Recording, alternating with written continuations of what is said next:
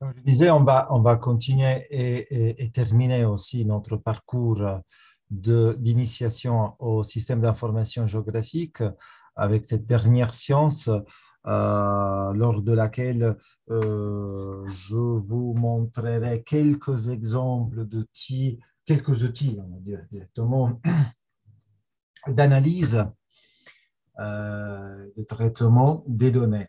On, reviendra également sur euh, la question des systèmes de, euh, de coordonnées, des projections associées. Et à la fin, je vous montrerai la mise en page et donc l'exportation d'une carte, d'une cartographie si vous préférez, élaborée en QGIS. Comme ça, on, arrive jusqu'au bout. Bon, cela dit, évidemment, c'est une initiation, donc on ne pourra pas tout faire. Hein. Et après, je laisserai à votre, comment dire, euh, bonne volonté euh, la mise en place et la découverte d'autres outils. Hum, il y a pas mal de, euh, de, de, de, de et de mode d'emploi que vous pourrez utiliser. Je pense que si je vous montre déjà un peu ces opérations aujourd'hui, vous allez comprendre à peu près comment faire le reste des choses.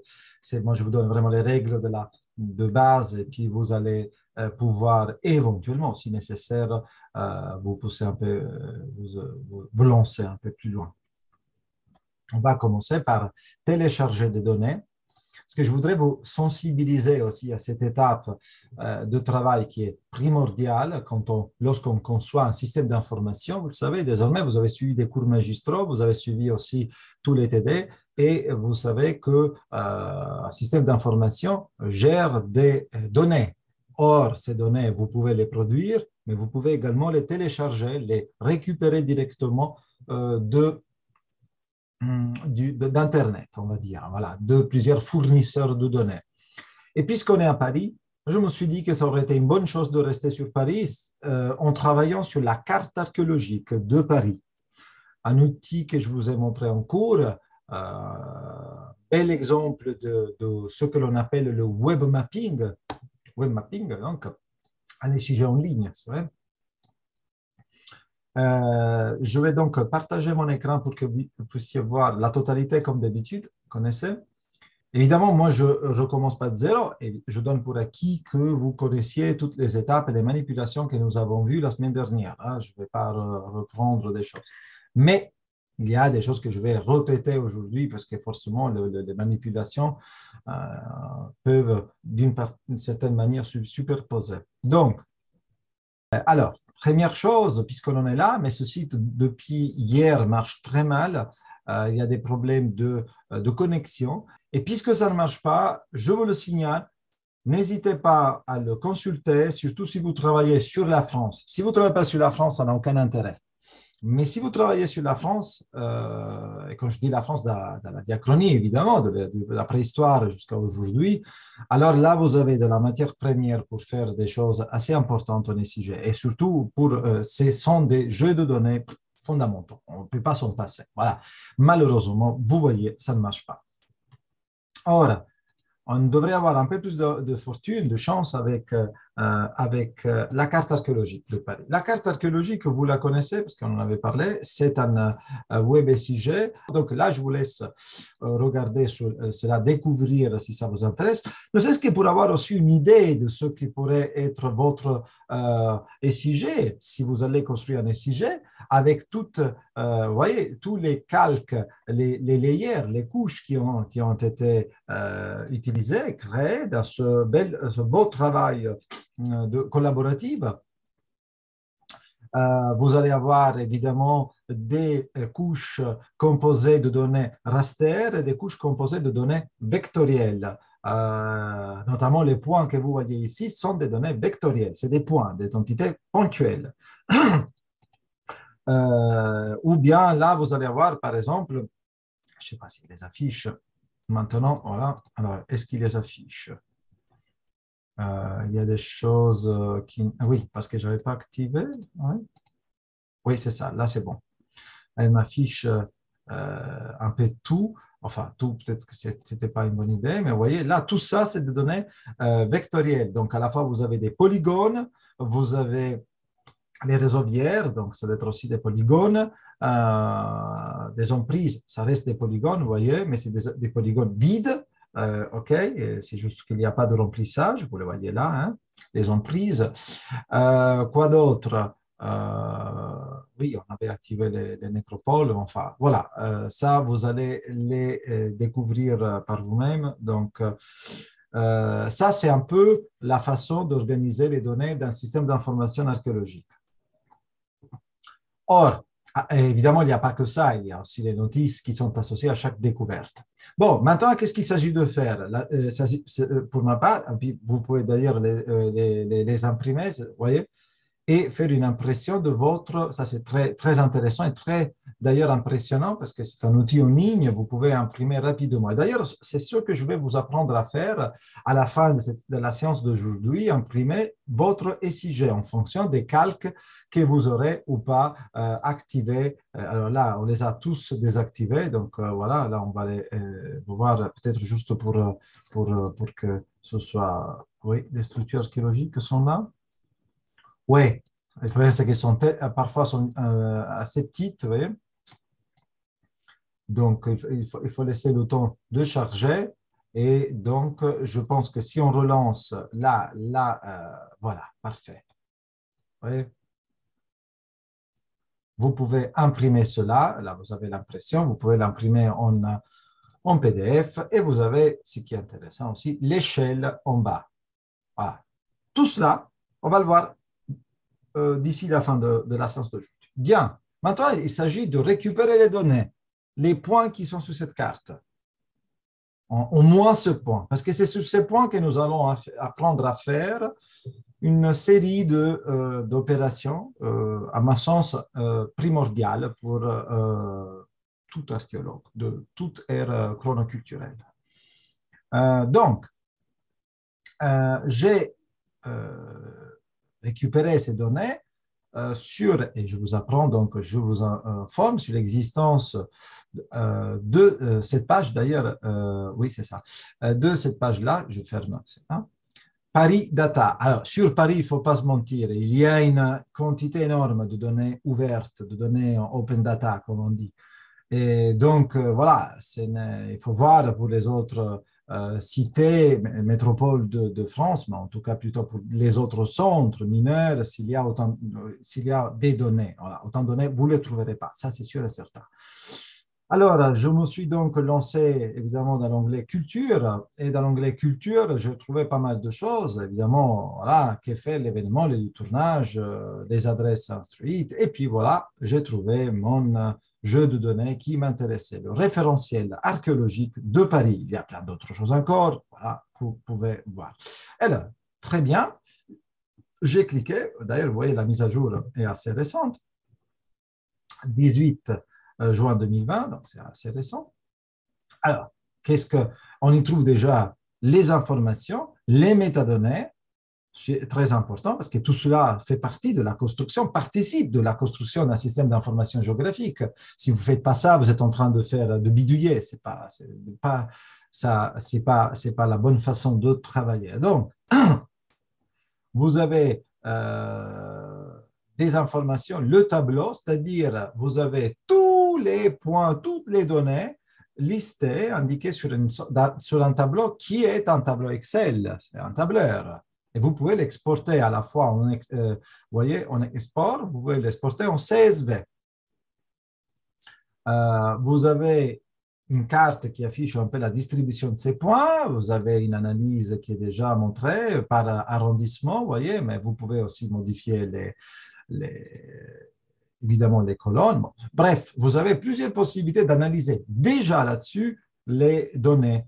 Mais nous allons, maintenant vous l'aurez compris, les exporter parce qu'on en a besoin, parce qu'on va travailler là-dessus. Donc, on va dans la partie export. Et on va exporter deux choses. On pourrait exporter tout, mais enfin, on n'a pas le temps. Et je réfléchis sur chacun de ces formats. Déjà, Excel, ce n'est pas la peine si on, si, on, si on, exporte le CSV, parce que le, CSV, c'est une étape ultérieure, si vous voulez.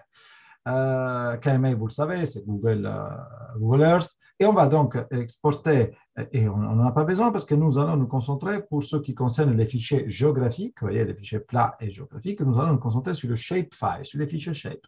Donc, nous allons prendre le CSV et le shapefile et nous allons les exporter en cliquant dessus. Euh, regardez d'ailleurs sur euh, CSV, qu'est-ce qu'il est indiqué? Une précision qui d'ailleurs ne vous surprendra plus, je suppose, parce que vous connaissez les règles du jeu, vous dit que le séparateur utilisé, c'est le point-virgule.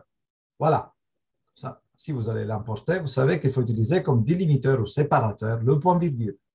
Donc, normalement, si tout se passe bien, vous avez un fichier CSV et un fichier compressé qui s'affiche à peu près comme ça, ou comme zip. Vous savez, c'est un zip. Ou bien vous allez l'extraire c'est la dernière des options, où vous double-cliquez dessus, elle s'ouvre directement. Ça dépend si vous avez un Mac, un PC, je ne sais pas ce que vous avez. Si vous avez un Mac, il suffit de double-cliquer dessus.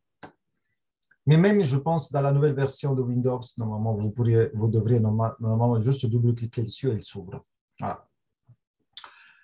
Alors, il faut le décompresser, évidemment, on est d'accord. Et alors, on va voir déjà le CSV, on l'ouvre. Bon, évidemment, euh, quand on ouvre le CSV avec euh, Office, malheureusement, on va dire, il nous l'ouvre tout de suite comme si c'était un normal Excel. Vous savez que ce n'est pas le cas. Si, si on va l'ouvrir en LibreOffice, il faut définir le séparateur. Bon, ça vous le savez. Par, par ailleurs, vous remarquez qu'il y a des problèmes dans les accents. Ah, les fameux accents, le codage, parce qu'il me l'a ouvert avec un codage qu'il ne m'a pas laissé définir le codage. J'aurais voulu mettre le UTF-8, mais il n'a pas laissé euh, faire ça. Si on va l'ouvrir avec le euh, LibreOffice, LibreOffice qui est un peu plus euh, pointilleux, voilà. il, déjà, il il ne comprend pas tout de suite euh, le, le, délimiteur, qui n'est pas la virgule, mais qui est le point-virgule. Voilà. Mais il nous permet de paramétrer le codage UTF-8, et voilà que euh, les problèmes d'accent que nous avions vus tout à l'heure ont disparu. Bon, c'était juste pour faire le point à ce niveau-là. Maintenant, je vais ouvrir l'autre aussi que vous avez euh, téléchargé. Eh bien, comme d'habitude, vous connaissez euh, les règles du jeu. Le format shape est un format multifichier, si on peut dire comme ça. Hein. Euh, c'est-à-dire qu'il contient à la fois les informations relatives à chaque point. Hein. Si je clique dessus, il va m'ouvrir exactement ce que je viens de voir, l'UTF-8. Donc, tac, voilà. Ce qui en, en QGIS s'appelle la table attributaire je ferme. Je vais avoir une information fondamentale qui est la projection, fichier PRG, que vous allez pouvoir ouvrir avec bloc-notes. Et là, on assiste à quelque chose. Euh, voilà, rappelez-vous, n'oubliez pas, c'est le WGS 1984, on en a parlé tellement que ce n'est pas la peine de revenir là-dessus. C'est le système par défaut de Google Earth, qui est un système non projeté, et ça c'est important, qui a comme unité de mesure les degrés. Alors, vous allez voir ce que ça veut dire tout à l'heure. Ah, je vais revenir là-dessus. Vous avez le fichier shape et un fichier SHX qui fonctionne tout aussi bien, mais qui est une, euh, une forme, euh, c'est disons plutôt la forme, euh, et, là vous avez toutes les informations. Le fichier dont vous avez besoin, c'est le fichier SHP qui est le fichier shape. Je vous le montre aussi. Euh, voilà, SHP. Voilà. comme je vous l'avais dit, le fait que euh, mon ordinateur affiche source de forme AutoCAD ne veut rien dire. C'est juste parce que j'ai dû faire un jour une bêtise et j'ai dû l'ouvrir, euh, j'ai dû paramétrer AutoCAD, le logiciel AutoCAD, comme le logiciel par défaut favori pour l'ouverture de ce type de fichier. Évidemment, je peux toujours modifier ça en faisant ouvrir avec je vais chercher mon, euh, QGIS si je le trouve. Et puisque ça prend toujours du temps, il faudra que j'aille quelque part dans euh, QGIS. Euh, voilà. Et je choisisse. Le problème, c'est que. Ah, là, ça doit être ici. Ben voilà, à chaque fois, je me perds. Non, c'est pas ça. il est quelque part. Voilà pourquoi je ne le fais jamais, parce que ça me prend toujours du temps pour le chercher. Donc, bref, il faut chercher évidemment le truc de QGIS. Bon. Maintenant, on commence donc par importer, par ouvrir un fichier, un projet SIG, donc par lancer QGIS. Vous savez, moi j'ai la version 3.10.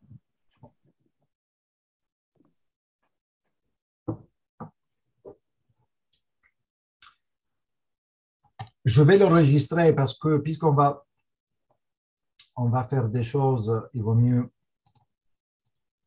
l'enregistrer pour que va faire des manipulations, ça pourrait bugger, etc. Donc voilà, TD 14 décembre.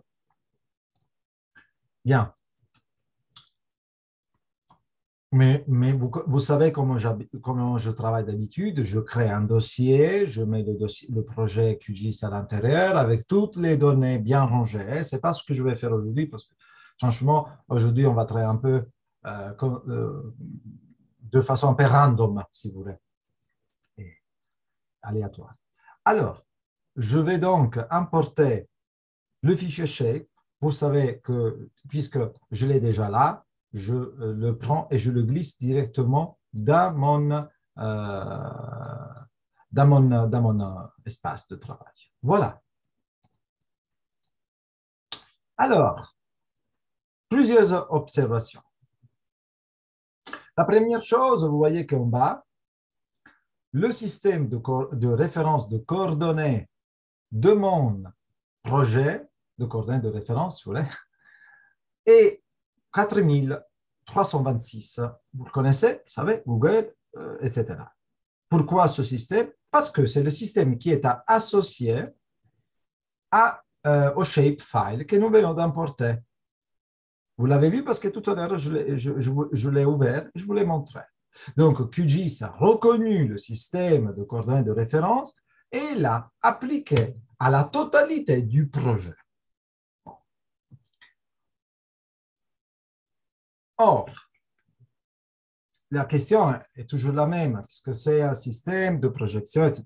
Euh, qu'est-ce que c'est un système de référence de coordonnées, etc. Euh, voyons-le en détail, voyons-le concrètement, sans trop de théorie. Alors, la première chose, puisqu'on est à Paris, on va se mettre une petite carte dessus, hein, euh, ou dessous plutôt. On va prendre, je ne sais pas, Bing. pourquoi pas. Et euh, on va la mettre en bas. Comme ça, euh, vous allez avoir les points visibles au-dessus de la carte. OK. D'ailleurs, je pourrais mettre aussi OpenStreetMap, pourquoi pas. Hein curiosité. Et voilà. Ça déjà, ça nous intéresse beaucoup. Alors, parfait. Qu'est-ce que vous remarquez quand... Euh, qu'est-ce que vous voyez dans cette image? Il n'y a pas quelque chose qui vous perturbe un petit peu? Alors, si vous ne le savez pas, je vous le montre. Ben, il y a comme une sorte de déformation de la carte. Et normalement, la forme de Paris, on ne va pas dire que c'est un rond, mais c'est pas non plus, vous voyez là, une forme étirée, aplatie presque. Hein. Vous, avez, vous voyez bien que la ville de Paris, regardez le périphérique, est, entre, on va dire, déformée. OK? Alors, la déformation n'est pas en soi un problème, c'est une déformation visuelle, évidemment, sur QGIS, dans QGIS. Et à quoi elle est due? À quoi elle est due? Eh bien, elle est due tout simplement au fait que vous avez importé, puisque vous avez importé, on va faire par ordre, hein, puisque vous avez importé un fichier shape qui avait un système de coordonnées de référence 4326, d'accord, qui est là maintenant. Et par conséquent, puisque vous avez fait ça, le système général du projet est devenu le 4326.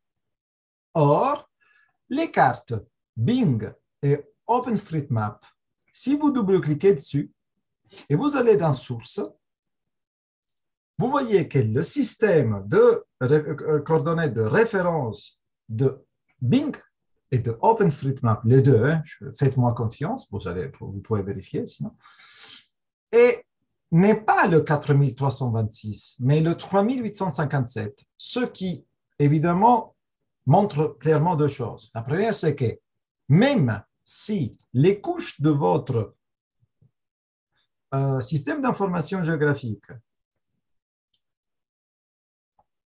ont un système de coordonnées de référence différent du système de coordonnées de référence du projet, le SIG marche. Même s'il euh, y a deux systèmes différents. C'est ça le grand avantage du QGIS, ArcGIS. C'est la possibilité de traiter des couches qui ont des systèmes complètement différents. Mais vous voyez aussi que pour ce faire, pour que cela fonctionne, des déformations vont s'appliquer, vont se produire. Des déformations, encore une fois, je tiens à le dire, visuelles. Hein. Euh, on pourrait améliorer la chose euh, et on verra après euh, ce qu'il se passe. Maintenant, je voulais faire quelque chose. Donc ça, c'était une... Et déjà, on va enregistrer parce que sinon, on oublie.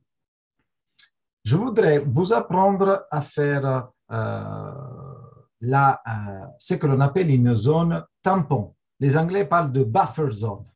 La buffer zone. OK? Comment on fait une buffer zone?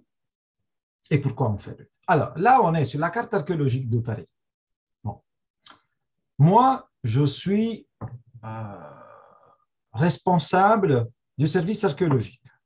Et j'ai besoin, pour des raisons de tutelle, de protection, de sauvegarde de l'archéologie parisienne, d'établir une carte euh, archéologique de Paris pour pouvoir, euh, avec un risque, un risque, le potentiel archéologique de chaque zone.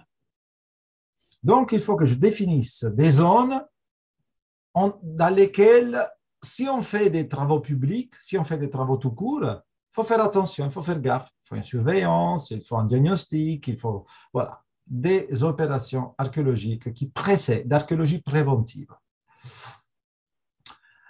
Mais il faut que je définisse la zone, parce que pour l'instant, pour l'instant, la seule chose que j'ai, c'est des points. Et un point, c'est un point. C'est un petit point. n'a presque pas de, forme, c'est rien. Si je, m'approche, je m'approche, vous voyez, c'est un point.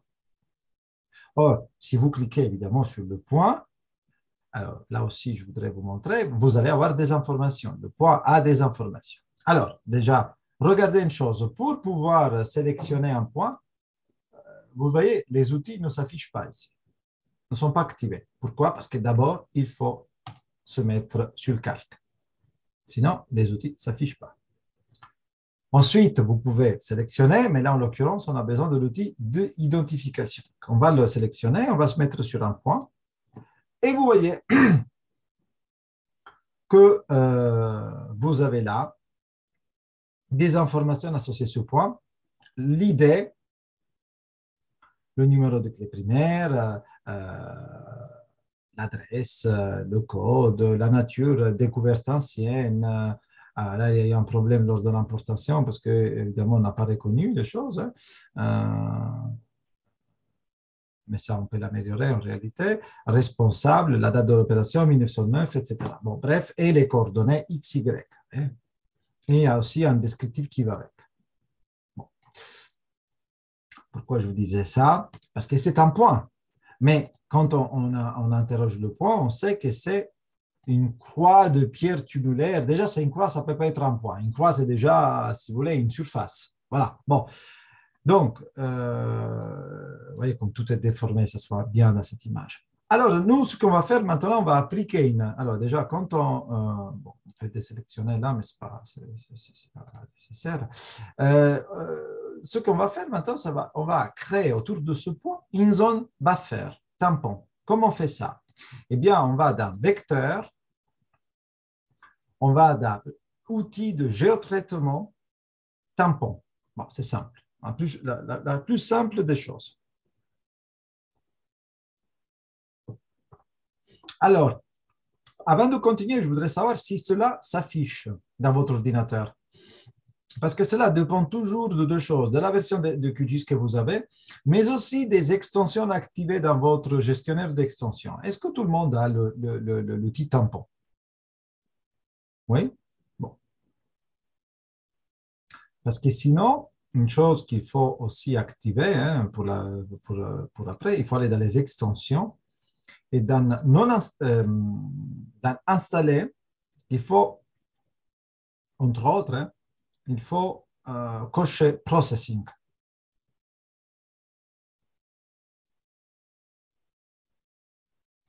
Bon, qui devrait être par défaut installé, mais pas activé, ce qui n'est pas tout à fait la même chose.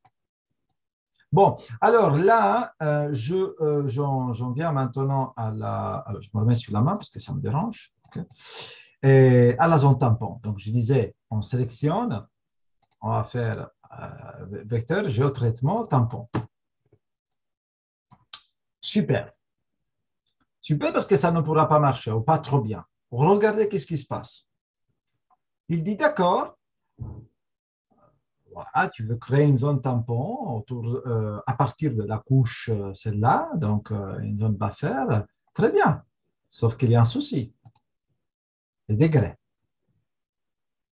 Pourquoi les degrés Vous le savez. Parce que la distance est un degré géographique. Envisagez la reprojection vers un système de coordonnées locales projeté pour obtenir des résultats précis. Et c'est ça tout l'intérêt du sujet, c'est ça les règles du jeu que je tiens à vous donner, parce que sinon, évidemment, ça ne marche pas. Autrement dit, on ne peut pas faire la zone tampon. Je le savais, je vous rassure. Euh, euh, ben, enfin, ça peut vous arriver. J'aurais pu ne pas le savoir, mais j'ai fait en sorte de garder ce, problème. Revenons donc à la question des systèmes de projection. Le système 4020, 326 euh, utilisés par Google. Très pratique, rien aucun souci. C'est malheureusement un système qui n'est pas projeté. Vous l'avez compris, la Terre sphérique, modélisable sous forme ou bien de géoïde, ou encore mieux, plutôt de ellipsoïde. Ellipsoïde, n'oubliez pas l'ellipsoïde, hein, qui est fondamental dans les mesurations du GPS, entre autres la, euh, la, représentation cartographique de la Terre sur une carte plate, aplatie, nécessite, nécessite de l'application d'algorithmes. D'algorithmes qui permettent, de formules mathématiques, qui permettent de projeter la Terre. Vous avez vu, il y a plusieurs types de projections. Il y a les projections cylindriques, il y a les projections coniques, c'est-à-dire qu'on prend un cylindre et on projette sur un cylindre toute la Terre, n'est-ce pas? On prend un, cône et on projette sur un cône la Terre. Voilà, ça c'est en gros la projection. Or, dans le 4326, cela n'est pas prévu. Il n'y a pas de projection. D'accord? Donc, il faut, euh, pour pouvoir, et en plus, c'est euh, un système géographique. Donc, on n'a que des coordonnées exprimées en degrés, des, des, mesures exprimées en degrés. On a, un souci. Euh, dans ce cas-là, qu'est-ce qu'on va faire? Alors, il y a deux possibilités. Ou bien, on peut essayer, hein, ou bien on change totalement le système de projection de notre projet, mais moi, c'est une chose que je ne me conseillerais pas de faire. Hein. Parce qu'encore, on peut le faire parce qu'on a, on a une couche. Imaginez si vous aviez 15-20 couches, ça serait la catastrophe. Donc, voilà, aujourd'hui, on peut le faire, ça, pourrait, ça peut être bien. Et qu'est-ce qu'on fait? Je vous le montre, mais je ne le fais pas. Hein. Vous pourriez, par exemple, euh, choisir quelque chose euh, qui est en réalité projeté, 3853. Ou encore mieux, puisqu'on est en France, et puisque la France a sa, système de, euh, sa, projection et son système de référence de coordonnées spécifique, qui est le Lambert 93, on pourrait choisir le Lambert 93. Sachant par ailleurs que le Lambert 93 est très intéressant, parce que les Français, les géographes, ont, bien pensé d'en proposer plusieurs. Vous voyez, il y a même des zones. Si vous regardez les zones, il y a la zone 1 qui est pour la Corse la, la France méridionale. Euh, il y a quoi? La zone 2 qui monte un petit peu, la zone 3, voyez, 4 et petit à petit. Donc, euh, vous allez jusqu'à la zone 9. On peut donc choisir ces zones-là ou simplement simplement aller dans le 93, celui-là qui est normalement celui qui est utilisé par l'Institut géographique national en général pour tout le territoire de la France. Et on pourrait cliquer dessus, appliquer, et on transformerait tout le système du, du QGIS en Lambert 93. Encore une fois, je l'ai dit, je sais que je suis enregistré, mais je ne le ferai pas. Ferai avec un S conditionnel. Et sans S futur. Donc j'annule. Qu'est-ce que je fais du coup? Eh bien, j'ai deux possibilités qui s'ouvrent à moi, qui sont très importantes. Il y a une première possibilité que je vous montre parce qu'on ne l'a jamais fait. Hein? C'est-à-dire, on va prendre notre fichier qui est un EPCG, vous voyez, European Petroleum Survey Group 4326, et on va le enregistrer. Clic droit. Euh, euh, exporter, sauvegarder les entités sous, et on va l'exporter sous forme de shapefile alors, vous savez, avant de le faire, on va quand même créer un dossier, sinon ça va être la catastrophe, parce que vous savez, le, shapefile, c'est beaucoup de fichiers en même temps, hein, c'est un format, on a dit. Donc, on va le faire pour aujourd'hui. Euh, et on va l'exporter en Lambert 93. Donc, je vais faire export Lambert. J'ai juste créé ça comme dossier sur mon bureau pour faire les choses plus propres. Donc, sauvegarder les entités sous, j'ai besoin d'un fichier shape, mais vous avez pas mal d'autres choses, vous pourrez l'exporter, vous voyez, en plein de choses différentes. Ce n'est pas que le, shapefile, vous pourrez l'exporter en AutoCAD DXF. Si par exemple vous voulez exporter un fichier géoréférencé en AutoCAD pour pouvoir ensuite avoir un fichier pour travailler en AutoCAD géoréférencé, ce qui est super, hein, à la place d'utiliser Illustrator, parce qu'encore il y a des gens qui malheureusement utilisent Illustrator pour faire euh, l'ADAO, le dessin assisté par, par ordinateur. Illustrator est super pour faire des jolies choses à l'ordinateur, mais c'est tout ce qu'il ne faut pas faire quand on veut faire du dessin vectoriel géoréférencé, parce qu'Illustrator n'est pas un logiciel de vectorisation géoréférencée. Et donc, si on, fait, quelque chose en Illustrator, ensuite, quand on importe dans, un SIG, il faudra le géoréférencer avec tous les problèmes que comporte un géoréférencement. Et vous les avez vus la semaine dernière avec moi, parce que géoréférencer quelque chose signifie appliquer des algorithmes.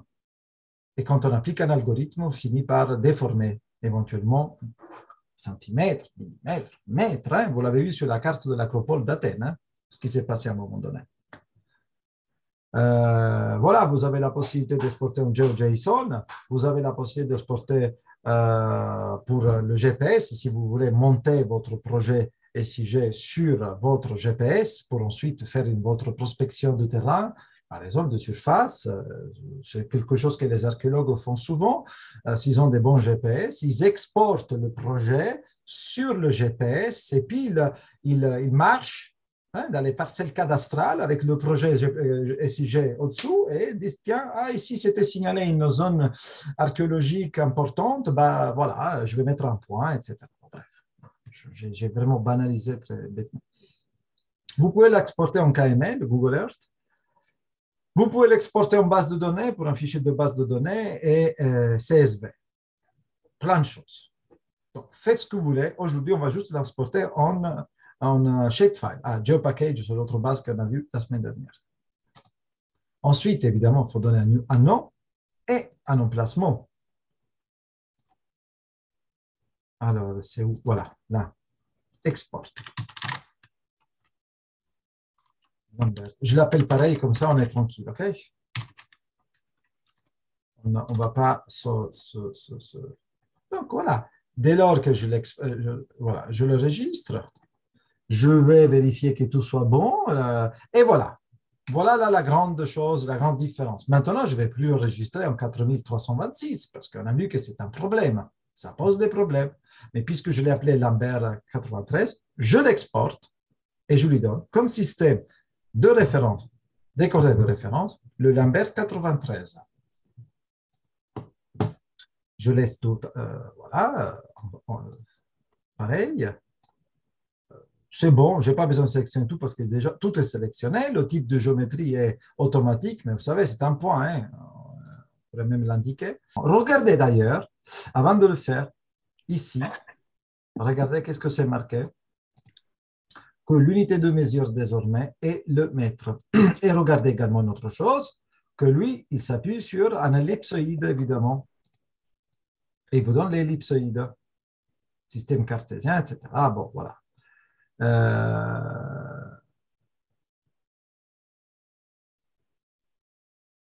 OK, on fait OK, on fait ajouter le fichier sauvegardé à la carte si vous voulez que ce fichier soit automatiquement, par QGIS, importé dans votre QGIS.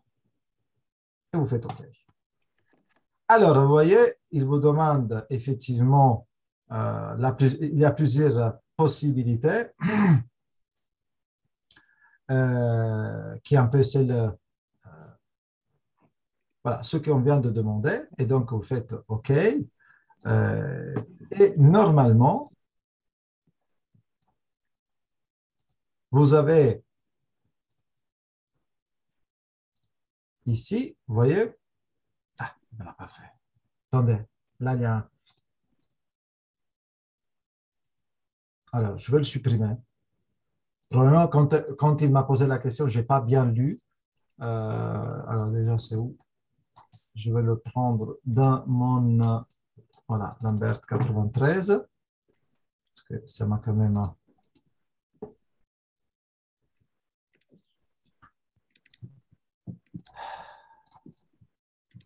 C'est l'encodage, il ne me donne pas la projection. Donc, je vais bien alors, je vais voir un truc.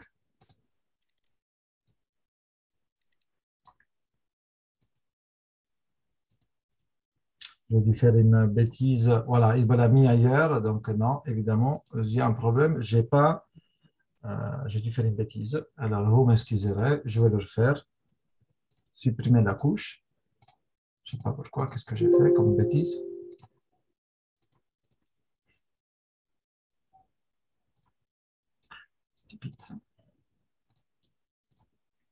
Je vais le registrer par-dessus.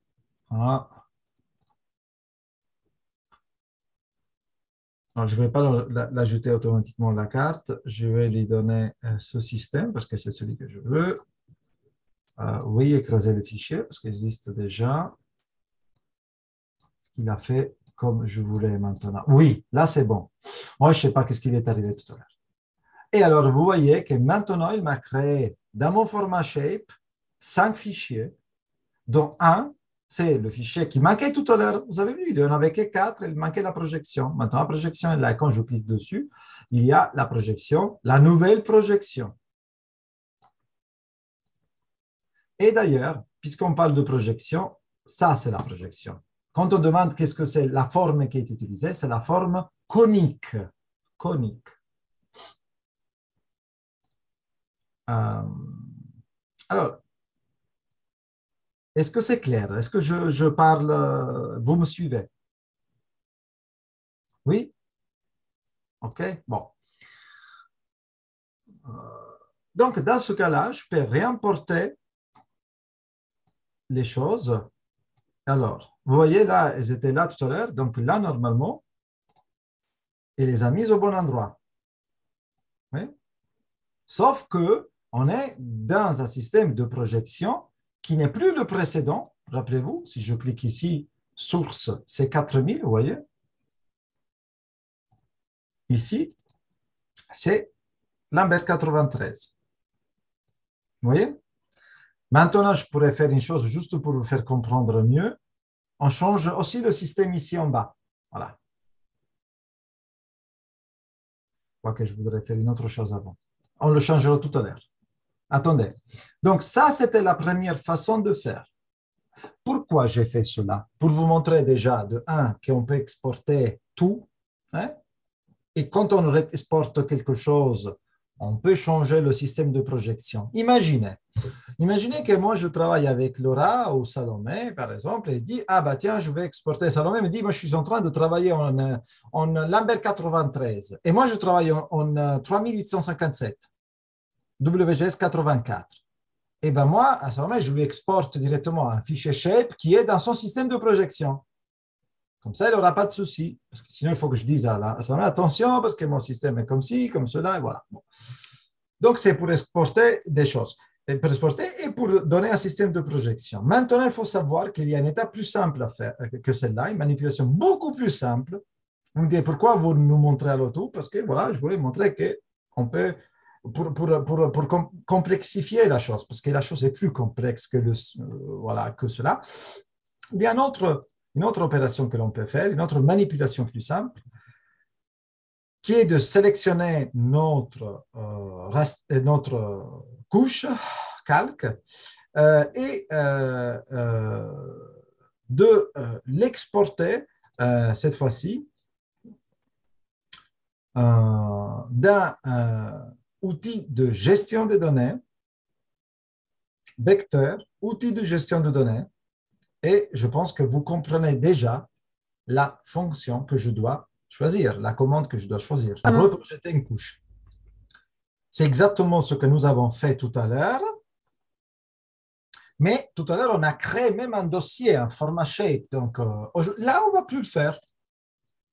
Là, on va prendre cette couche, et voilà, laquelle? Celle-là. Et le système cible, c'est lequel? Le système de euh, coordonnées de référence? Eh bien, c'est le nouveau. C'est celui-là. Et puis, on va lui dire d'ouvrir le fichier en sortie après l'exécution de l'algorithme. Donc, on va faire OK. Donc, il exécute son algorithme. L'algorithme, c'est lequel? C'est qu'il applique, il projette désormais. Voilà il a fait. En 0.11 secondes, il a reprojeté et il m'a créé une nouvelle couche qui est là. Vous voyez? Qui euh, est pratiquement identique, si vous voyez, à celle qui est à, l'autre. C'est là, c'est exactement la même, se trouve exactement au même endroit. Donc on est là. Les deux, vous voyez, c'est du 93.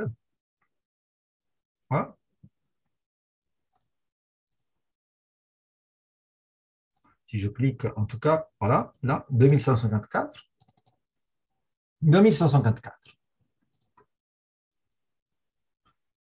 Donc, il y a deux possibilités de faire. Ah, mais qu'est-ce que vous avez compris par là? Que la deuxième possibilité vous a créé une couche, mais pas un, un nouveau fichier shape. C'est ça la différence. Bien entendu, bien entendu. Maintenant, qu'est-ce que vous pourriez faire? Clic droit, exporter, sauvegarder les entités sous, et évidemment, créer un fichier shape. Voilà. Bah, avant de le faire, je le renommerai aussi parce que reprojeter ne veut rien dire, évidemment. Il faut savoir que ce qui a été reprojeté, c'est le référent archéologique de Paris. Donc, ce que vous pourriez faire pour être pour travailler proprement, vous pourriez faire référentiel et vous mettrez par exemple euh, WGS 84 ou, puisqu'on a utilisé le EPCG 4326, là, euh, eh ben là, on en a deux, donc là, on peut, le, virer, le reprojeter. Hein. Et l'autre, c'était juste pour vous montrer des choses. ok?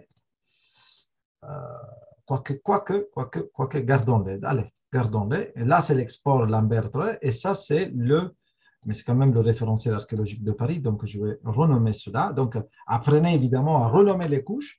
Là, je, je mets une abréviation RAP, référentiel archéologique de Paris, RAP, export Lambert 93. Et là, je vais faire renommer également et je vais faire RAP, reprojeter. Vous voyez que les choses sont en italique, les couches, quand elles ne sont pas activées. C'est bon? Vous connaissez désormais la possibilité de fusionner les choses à l'intérieur d'un groupe, donc euh, de grouper la sélection, ça RAP, hein, et c'est bon. C'est bon jusqu'à là? Alors, si je euh, dézoome, regardez. Je dézoome, je dézoome, je dézoome, je dézoome. voilà le 4326. Vous connaissez les gros soucis, le Groenland à la taille de l'Afrique, etc., etc. Bon. Donc, qu'est-ce que c'est un système intéressant parce qu'il est équivalent dans le sens qu'il permet de garder les angles, mais pas les surfaces. Ça, c'est important. Donc, les surfaces, vous voyez, sont bousillées. Le Groenland, la taille de l'Afrique. Maintenant, je vous ai dit, on va faire une chose, juste pour le plaisir des yeux. Hein. Euh, quoique, j'enregistre parce que je voudrais revenir en arrière après. Je vais fermer. Euh, il y a un point. Ah non, c'était un. Ah, vous voyez, je voyais les points ici dans la mer, mais en fait, c'est juste un problème d'affichage. Parce que quand je m'approche, ils sont au bon endroit. D'ailleurs, d'ailleurs, n'oubliez pas que vous pouvez aller directement sur la, couche que vous venez de créer en faisant euh, zoomer sur la couche. Voilà. Ou bien vous pouvez voir la totalité de l'emprise de votre projet en cliquant ici. Voilà. Alors, je vous disais, ça c'est euh, euh, notre... Euh, alors, je, vais partager différemment l'écran, comme ça vous n'avez pas, voyez pas vos têtes. Ça, devrait être un peu gênant. Voilà, là ça devrait être bon. Vous voyez encore vos têtes ou juste le, mon sujet Non, c'est bon? Ouais. Alors, là en bas, 4326, on va le changer, je disais tout à l'heure. Et on va le mettre lui aussi en Lambert 93. On fait appliquer. Donc, qu'est-ce que j'ai fait? J'ai cliqué dessus. Je suis allé dans SR, système de coordonnées de référence. Ben, il va automatiquement là-dessus. J'ai choisi Lambert 93. J'ai fait appliquer. OK. Et vous voyez que, et vous voyez quoi? Regardez la beauté du système de projection. Le Lambert 93, comme je vous le disais, c'est une projection conique. C'est-à-dire qu'on prend un cône et on projette sur un cône, sur un cône, pardon, pas sur un cône, c'est moi le cône, euh, sur, un cône, on projette euh, la, Terre. Et, et, évidemment, la représentation de la Terre est complètement différente. Bon, je ne voulais pas le faire parce que finalement, bon, ça va des répercussions, mais enfin, si on va maintenant euh, zoomer sur la couche, eh bien, regardez que la ville de Paris a récupéré, a retrouvé sa physionomie originaire, c'est-à-dire qu'elle euh, est plus, comme tout à l'heure, vous vous souvenez, elle était un peu aplatie, étirée dans tous les sens. Là, c'est bon. Donc, si vous dézoomez, encore une fois, voilà Qu'est-ce que ça veut dire une projection conique? Et qu'est-ce que qu'est-ce qu'on a quand on utilise le Lambert 93 Or, le Lambert 93, vous le voyez très très bien. On ne peut pas l'utiliser pour tout le monde. Il y a des choses qui ne vont pas du tout. Hein? voyez? La mer là qui forme un angle droit, ça ne va pas du tout. Hein? Donc, évidemment, c'est un système de projection qui est parfait pour la France, mais qui ne sera pas, par exemple, aussi bon. Regardez l'Amérique du Sud, pas du tout. Ce qui veut dire que pour chaque pays du monde, ou à peu près, à peu près, il y aura un système de projection approprié. C'est à vous de le choisir. C'est à vous de le vérifier d'un moment et de le choisir. Et puisque vous ne travaillez pas tous sur la France, faites attention. Si vous travaillez sur la Grèce, par exemple, c'est le grid, ou l'UTM, transverse Mercator. Euh, si, euh, transverse Mercator. Euh, si vous travaillez sur l'Italie, c'est la même chose, c'est l'UTM aussi. mais après, je ne connais pas forcément les autres systèmes pour les autres pays, bien que voilà, tout cela soit bien indiqué sur, sur des sites de géographie. Donc là, pour la France, c'est parfait. La France est presque au milieu de ce cône et donc elle est bien représentée. Parfait. Il n'y a, y a presque pas de déformation. Super. Alors, euh, juste une chose. Faites attention à ne pas trop déformer, pas, trop modifier les systèmes de projection, parce qu'une modification du système de référence, de, de de référence, ça veut, dire utilisation d'algorithmes. Utilisation d'algorithmes veut dire déformation. Voilà. Je m'arrête là. Maintenant, je reviens à la question des tampons. Parce que je n'ai pas oublié qu'on on avait commencé par là. On avait vu qu'on ne pouvait pas le faire, le tampon, si on commençait par le référentiel de, archéologique de Paris, parce que euh, si on y va, à nouveau, tampon, et ben, il y a le problème des degrés. Or, nous avons besoin de mètres. Donc, on a fait tout ce travail et toute cette longue digression, qui n'est pas une digression, mais qui était nécessaire, et euh, pour passer en mètres. On est passé en Lambert 93 en mètres et on utilise maintenant le, le allez, on va utiliser celui dont on, on, a créé, pour lequel on a créé le calque. Alors, vous voyez, il comprend tout de suite le système. Hein. Et là, vous êtes au mètre. Tout est possible maintenant. Qu'est-ce qui se passe? Alors, il vous propose le réseau, la requête réseau Vertal. Oui, bon, il y a des problèmes avec mon QGIS. Euh, pourtant. Ah oui, ah oui. Ah, D'accord, il y a un problème avec OpenStreetMap. D'accord. Ok, bon, euh, ok, ben, je vais je vais supprimer OpenStreetMap et je vais à la limite le, et je vais le remettre, comme ça, ça arrête. Ah oui, d'accord. Alors, tout fermé. Je vais le remettre éventuellement OpenStreetMap, voir si ça marche. Et je vais étendre ça aussi. Parfait. Donc, on va venir alors sur la distance. Maintenant, qu'est-ce qu'il nous dit? Il nous dit qu'il va nous faire une zone tampon pour chacune de ces couches par, pardon, par chacune des entités de cette couche, parce que vous voyez, il y a une seule couche, mais des milliers, milliers, 1800, je pense, entités euh, là-dedans. Et euh, vous pouvez choisir aussi euh, le style. Attention, normalement, il faut choisir le rang, parce que les autres ne marchent pas forcément. vous pouvez vous renseigner. Moi, je ne vais pas rentrer dans le détail, mais là, le style STT, c'est le rond. là, le nombre de segments, par contre, devient intéressant parce que dans le nombre de segments, vous avez la possibilité d'améliorer euh, le rendu de votre rond. Un rond à cinq segments, c'est moche, c'est un pentagone. Donc, plus vous augmentez le nombre de segments, mieux c'est. Mais enfin, vous allez voir, vous allez tester. La distance, ça veut dire que vous voulez faire autour de votre point, pas? À partir de votre point, vous utilisez un diamètre de, pardon, pas un diamètre, un rayon de 10 mètres pour tracer la circonférence. Alors, partons de 10 mètres et puis on va voir. Euh, voilà, euh, on va donc exécuter, on laisse les choses pareilles pour l'instant, parce que ce n'est pas, pas trop intéressant. Et ben voilà, que quelque chose s'est passé. Je ferme pour un, instant. Alors, vous le voyez moins bien, mais là, une couche vient de se créer. La couche s'appelle mise en tampon. Il a appliqué encore une fois un algorithme. Grâce à cet algorithme, il a pu calculer un cercle avec un rayon de 10 mètres autour du point que vous aviez. Vous voulez voir ça? Ben, Vous mettez le tampon dessous du point, des points.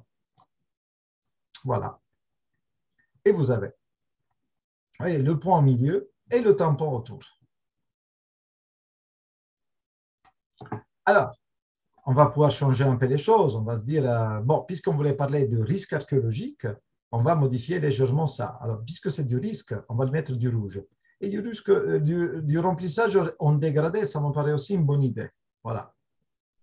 Pourquoi pas Et on va se limiter à ça. Ensuite, bien entendu, pour les points, vous pourriez aussi euh, indiquer l'étiquette. Simple. Mettez l'idée, qui me semble la chose plus utile dans ce cas-là. Voilà. Ensuite, mise en tampon, on, modifie. On va renommer et on va dire risque euh, élevé 10 mètres. D'accord? Vous, vous, me suivez ou je vais trop vite? Ça va ou pas? De toute façon, je vais répéter l'opération parce que je vais faire le risque maintenant plus, moins élevé. Alors, moins élevé, je dis que mon paramètre, c'est 15 mètres. Donc, bah, je peux partir de là. Hein. Je me mets sur cette couche qui désormais existe, que je peux même exporter, attention. Hein. Euh, comme d'habitude, vous connaissez la, donne désormais. Je vais faire un nouveau tampon à partir du tampon déjà existant, si vous voulez. Je rajoute parfois, euh, par contre, là, 5 euh, mètres, ou je peux le faire à partir. allez, on va le faire plus tôt, on ne rend pas les choses trop compliquées. On va le faire à partir du premier. Donc, puisque le premier c'est à 10 mètres, le, deuxième sera 15 mètres. on va mettre aussi 10, 10 segments. En fait, exécuter. Voilà. et on va le mettre au-dessous. Voilà, comme ça, ça va. Alors, puisque c'est un euh, moins, moins grave, on va faire voilà, remplissage au dégradé du jaune. Voilà. On va renommer et on fait risque moyen 15 mètres. Et ensuite, on va faire à 20 mètres, juste un petit exemple, hein un nouveau tampon. Va directement là, comme ça vous comprenez. Voilà, et on va se mettre sur, le, sur les sports. Et on va faire le risque euh, à 20 mètres du, du point initial. Voilà, super. On va mettre ça ici. On va choisir du vert. Hein. Et on va renommer euh, risque faible. Voilà. Et je registre. Évidemment, ça se crée autour de chaque point euh, présent sur ma carte. Si je tends ça, peut-être c'est un peu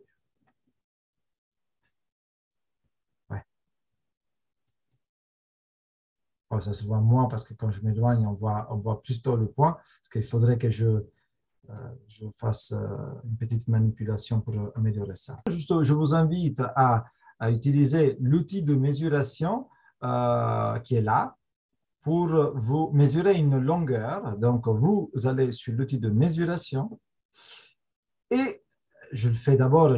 Alors, d'abord, vous activez l'accrochage comme ça, parce que voilà, si j'ai envie de mesurer, l'accrochage n'est pas là forcément chez vous, il doit être plutôt à gauche. Si vous ne le voyez pas, vous savez, il faut aller dans Vue, barre d'outils, accrochage.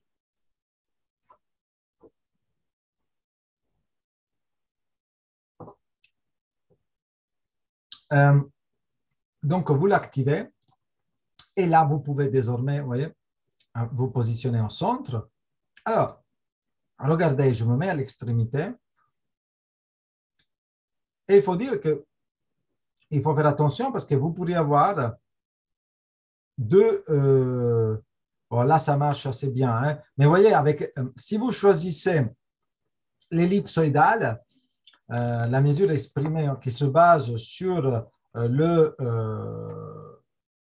euh, sur la projection qui été faite, eh ben, vous allez avoir un petit, une petite erreur, euh, si vous voulez, vous, êtes, vous avez un, un millimètre d'erreur, ce qui n'est pas grave. Hein. Mais si vous allez sur le cartésien, alors là, c'est 10 mètres. Peu importe où vous êtes, évidemment. Là, c'est 10 mètres, là, c'est 15 mètres, et là, c'est 20 mètres si je me mets ellipsoïdal, là, c'est, on a dit 10 mètres, et, là, c'est, on a perdu encore un millimètre, et là, je suppose, voilà, on reste encore avec 2 millimètres, donc ça va. C'est bon? Attention parce que c'est, il y a quand même une, petite euh, différence hein, entre les deux. Évidemment, si vous voulez avoir la distance exacte, il faut utiliser le cartésien et pas l'ellipsoïdal, parce que l'ellipsoïdal tient compte de la déformation de la projection, ce qui est bien aussi, mais enfin, ce n'est pas, c'est peut-être pas forcément ce dont vous avez besoin. Vous avez plusieurs unités hein, de mesure.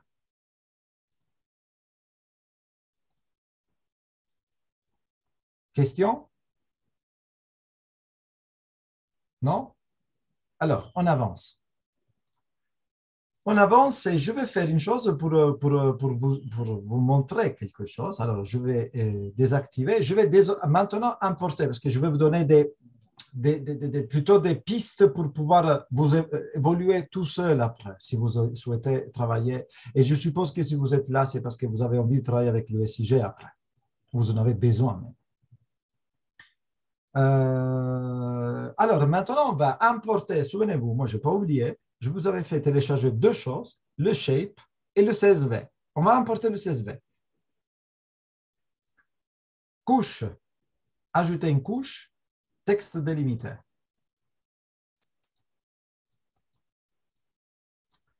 Alors, on va choisir notre fichier qui est sur mon bureau, qui est euh, c'est celui-là, référentiel archéologique de Paris. Ah, lui, il a compris tout de suite, c'est le point virgule. On n'a même pas besoin de lui dire ça.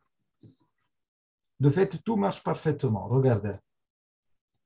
Voilà, parfait. Rien à faire. Il a même compris tout seul que le champ X, c'est la X, et le champ Y, c'est le Y. Et forcément, euh, parce que lui, il allait les chercher et les a trouvés. Si vous, vous donnez la X et la Y, vous les appelez différemment, forcément, il faudra le faire manuellement. Mais si vous mettez X et Y déjà dans votre tableur, eh ben, QGIS les retrouvera tout seul. Le système est là. Or, euh, ça, il le fait parce que, euh, on va dire, on, on s'est mis en 93, euh, en 93, Lambert 93.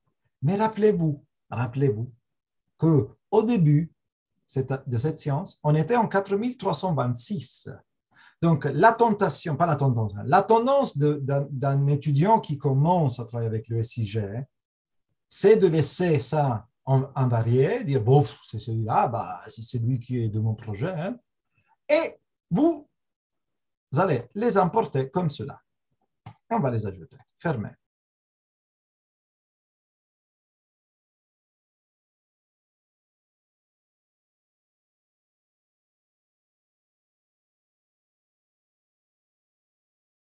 Je vais donc ajouter, voyons si ça marche cette fois, c'est quand même c'est bizarre que ça ne marche pas. Hein. Euh, ça devrait être sans problème. Je ne sais pas si vous avez essayé, si ça vous pose le même problème. Moi, je ne pense pas parce que ça devrait marcher, censé marcher.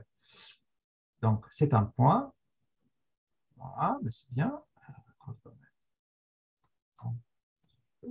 Ah, voilà, c'est bon. Bah, il avait un bug. Alors, ça, c'est un bel exemple, malheureusement, un bel, mauvais exemple, si vous préférez, de QGIS, des bugs de QGIS. Ce n'est pas rare d'avoir une situation pareille, malheureusement. Donc, parfois, il faut redémarrer le logiciel. C'est un logiciel libre, comme tous les logiciels libres, de temps en temps, euh, il est fatigué et il a besoin de se reposer. Donc là, qu'est-ce qu'on va euh, On les a importés. Vous me direz très bien, bah, on va voir. Hein prendre l'OpenStreetMap. Hein. Oui, j'ai affiché l'OpenStreetMap. D'accord, très bien. L'OpenStreetMap là, mais les points ne sont pas du tout là. Hein. Ils sont ailleurs. Je ne sais même pas où. C'est ça que je voulais vous montrer. Vous, alors, pourriez me dire, ah oui, mais d'accord, mais alors, qu'est-ce que c'est où l'erreur? L'erreur, c'est que quand on importe des fichiers, il faut connaître le système de coordonnées de référence qui a été utilisé pour l'élaboration de ce fichier. Et on le trouve où, le système? Ben, Regardez du coup. Si on va sur Internet, là où j'étais tout à l'heure, et vous allez sur, euh, attendez, c'est où déjà? Je pense que c'est ici, et vous descendez, voilà. En fait, si, là, vous ne le trouvez pas. Mais si vous descendez, vous avez le modèle des données. D'ailleurs, rappelez-vous, on en a parlé, le modèle de données, les bases de données. L'identifiant, en plus, ça c'est un peu bizarre qu'ils ont utilisé pour identifier un type texte. On ne va pas en discuter. Ils ont choisi ça, c'est leur, raison. Euh, ça, c'est une base de données. c'est les érudits de la base de données. Et à un moment donné, on descend, on descend et on va sur le X et le Y. Et qu'est-ce que vous lisez?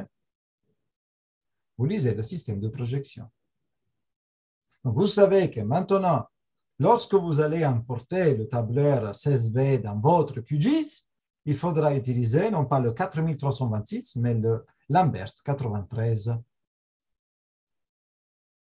Voilà. C'est bon ça?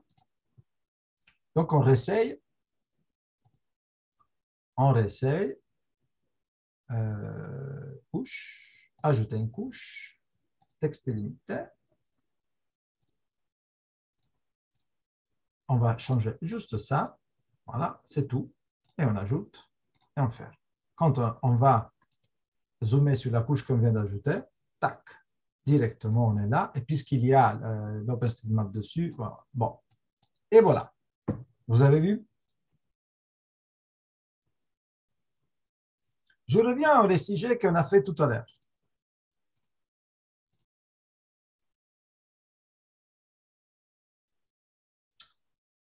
Voilà, on revient à ce qu'on a fait tout à l'heure et on va euh, prendre ça, ça. Alors, euh, peut-être que euh, c'est mieux Bing parce que c'est trop d'informations. Et d'ailleurs, je vais aussi enlever pour l'instant l'étiquette parce que je voudrais porter votre attention sur une autre chose. J'applique pas d'étiquette. je vais également éventuellement baisser un peu la transparence de Bing, comme ça c'est moins violent, peut-être encore plus. Voilà. C'est du raster, donc je peux faire ce que je veux comme d'habitude sur le raster. Alors, vous voyez nos, points. D'accord?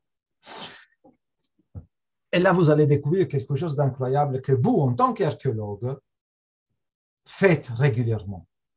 Ça vous arrive très souvent. Je suis sûr qu'en ayant travaillé à la base de données, vous avez déjà été confronté à ce problème. C'est-à-dire, je vous le dis d'abord et puis je vous le montre, d'avoir la même localisation pour des entités différentes.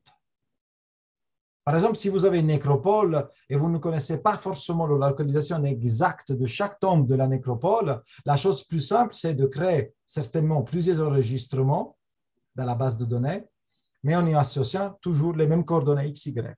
C'est quelque chose qu'on fait. Pas, pas tout le temps, ce n'est pas non plus la meilleure des choses, mais ça peut arriver.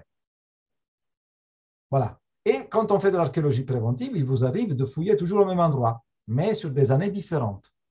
Donc, plusieurs interventions, ça veut dire plusieurs enregistrements avec, donc, différents enregistrements avec des coordonnées différentes. Ce que veut dire que ces points-là, en, réalité, hein, ces points-là ne sont pas des entités uniques, mais ils contiennent des sous-entités. Comment on découvre cela, si c'est vrai ou pas? Eh bien, on va dessus déjà. On double-clique et on va dans symbologie. Et dans symbologie, vous avez une jolie option qui s'appelle déplacement de points.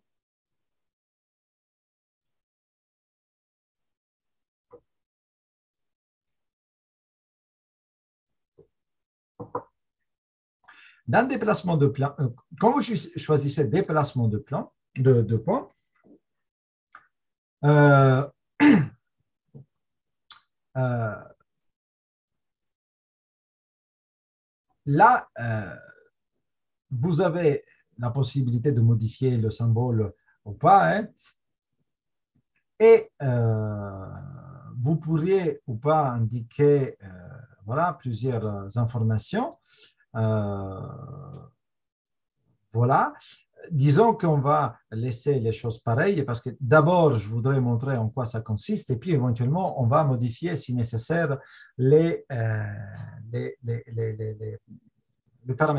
Donc, on va faire appliquer. Et vous regardez, bon, c'est vrai que rose et, euh, rose et, rouge, c'est pas terrible. mais qu'est-ce qui s'est passé? Allons-y. Si on va, par exemple, Regardez. Il y a des euh, points roses qui sont restés roses, des points, des points euh, euh, disons, roses qui en réalité se distribuent autour d'un point rouge en forme presque d'anneau et d'autres juste, vous voyez, en haut et en bas. Euh, plusieurs, en fait, si vous, si vous voulez, configurations. Et, là, vous en avez par exemple trois autour. Alors, j'espère que mon zoom soit assez, euh, il est assez visible pour que vous puissiez apprécier. Là, il y en a quatre encore. Voilà. Bon, je m'arrête là. Je vais identifier les entités. Je clique sur le rouge. Et si je réduis l'idée, regardez combien d'idées j'ai là. J'en ai quatre comme quatre points qui sont là. C'est-à-dire qu'il y a quatre interventions différentes. La première, c'est euh, la 1315, l'idée évidemment, la rue 5 rue Cujas, faite en 1893 euh, par un archéologue que vous devriez connaître, parce que c'est le premier archéologue de Paris, c'est le grand archéologue de Paris, Théodore Baker. Vous avez toujours rue, 5 rue Cujas une découverte ancienne, euh, ne sais pas exactement quand, puis vous avez, on le connaît à travers une, un ouvrage, une autre intervention en 1873, toujours au 5 rue Cujas, et une autre encore, la quatrième, la dernière, en 5 rue Cujas, en 1873, toujours Baker, Théodore. Vous voyez ça? Donc, en gros, euh, euh, cet, outil, si vous voulez, vous permet, de mieux comprendre la complexité de la donnée. Parce que si je n'ai pas le déplacement de points, j'ai l'impression qu'il y ait une seule intervention. En réalité, vous le comprenez très bien. Il y a là, regardez à propos de ce point-là, combien d'interventions au même endroit. Je ne serais même plus compté tout ça. Donc, vous avez une vingtaine. D'ailleurs, on va le voir ça, parce que maintenant, on va calculer ça automatiquement. Alors, euh, revenons donc à la question maintenant de la, de la si vous voulez, de la, de la, du graphisme. On peut mettre en noir si vous préférez. Voilà, vous voyez, c'est peut-être un peu plus évident. Alors là, vous pouvez choisir un anneau, un anneau concentrique. Regardez, qu'est-ce qui se passe? Ou grille. Ah, c'est une question de symbologie. Faites comme vous voulez, à condition que ce soit expliqué dans votre texte et que ce soit clair dans votre tête. Vous pouvez ou pas choisir une étiquette. D'accord, je vais aussi une étiquette qui va avec. Alors, vous mettez par exemple le numéro d'idée ou l'adresse. Bon, puisqu'on parle d'adresse, pourquoi pas Voilà. Enfin, ça, fait, ça fait, c'est problématique. Hein? Parce qu'il va vous les afficher pour tous les points. Euh, et c'est vrai que ce n'est pas terrible. Voyons, alors dans ce cas-là, il vaut mieux le ID. Qui a plus de sens parce que l'adresse est toujours la même. En revanche, le numéro de points, l'idée change. Donc, évidemment, je n'aurais même pas dû y penser, c'était clair. Là, j'augmente, j'augmente, j'augmente, mais je ne peux pas faire plus que ça. D'ailleurs, si je zoome, je ne pense pas que ça améliorera les choses. Non, c'est le maximum de zoom. Donc là, dans ce cas-là, ça, c'est un bel exemple de, euh, de facteurs de distance. Vous devez éventuellement augmenter ces choses-là pour pouvoir, voilà, voyez, mieux lire les étiquettes. Déjà qu'elles sont les unes sur les autres. Euh, là, vous pouvez faire ça dépendant de l'échelle. Alors, je ne sais pas parce que maintenant, je n'ai aucune idée de l'échelle qui est utilisée. C'est vrai que peut-être ce n'est pas une bonne idée. Euh, couleur de l'étiquette, s'il y a une zone tampon, police d'étiquette, etc. Bref, euh, ah oui, on peut augmenter quand même un petit peu la, police pour que ça soit plus visible, mais le problème, c'est qu'après, ça va, ça va se euh, superposer. Ouais, il y a un problème sur, sur la sur ça, est-ce qu'il y a la possibilité de... Non, ça, c'est les traits, la taille des points. Je pense que ça va pas, ça, intervient. Ouais. Peut-être que c'est sur ça, ça peut agrandir les choses. Donc voilà, vous voyez, ça commence à être plus visible. Peut-être que si je mets 12, qu'est-ce que ça donne? Voilà. Ah non, parce que c'est quand même pas beau. Voilà. Ouais, on y arrive. Petit à petit, on y arrive c'est du paramétrage. Vous, vous, vous, comprenez que c'est pas le but du jeu, c'est pas ça. Maintenant, je vais redire parce que c'est quand même très, très. Voilà, vous voyez. Et là, je me suis mis un facteur d'échelle. Donc, vous voyez beaucoup mieux les choses maintenant. Ah, sauf le gris qui est invisible. Et on fait une dernière chose et on va modifier même le gris. Oh, c'est trop fort le 1. On va mettre peut-être du vert plutôt. Voilà. Allez, c'est comme ça. Il y en a pas mal. Et là, vous comprenez qu'il y a beaucoup plus de points que ne les voyez pas, que les sur la carte tout à l'heure. Parce que les entités ont été décomposées en sous-entités. Bon. Alors, puisque je vais garder ça, je vais faire une autre chose. Je vais dupliquer la couche. Vous voyez? Comme ça, j'étends celle-là et je vais travailler sur la copie. C'est la copie. Et je viens de dupliquer. Je double-clique et cette fois-ci, je fais l'inverse de ce que je vous ai montré. C'est-à-dire, je vais maintenant faire le groupe de points. À la place de voir les points, je vais voir un seul point avec le décompte des, sous-entités qui sont présentes, sont relatives à ce point. C'est le procédé inverse, si vous voulez. Alors, euh, donc, là, vous avez, euh, par contre, pourquoi il ne m'affiche pas euh, ça? Attendez, juste un instant.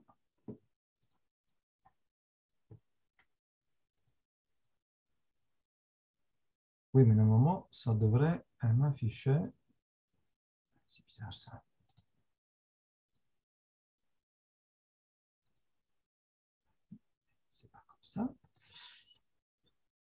Est-ce que c'est parce que je suis...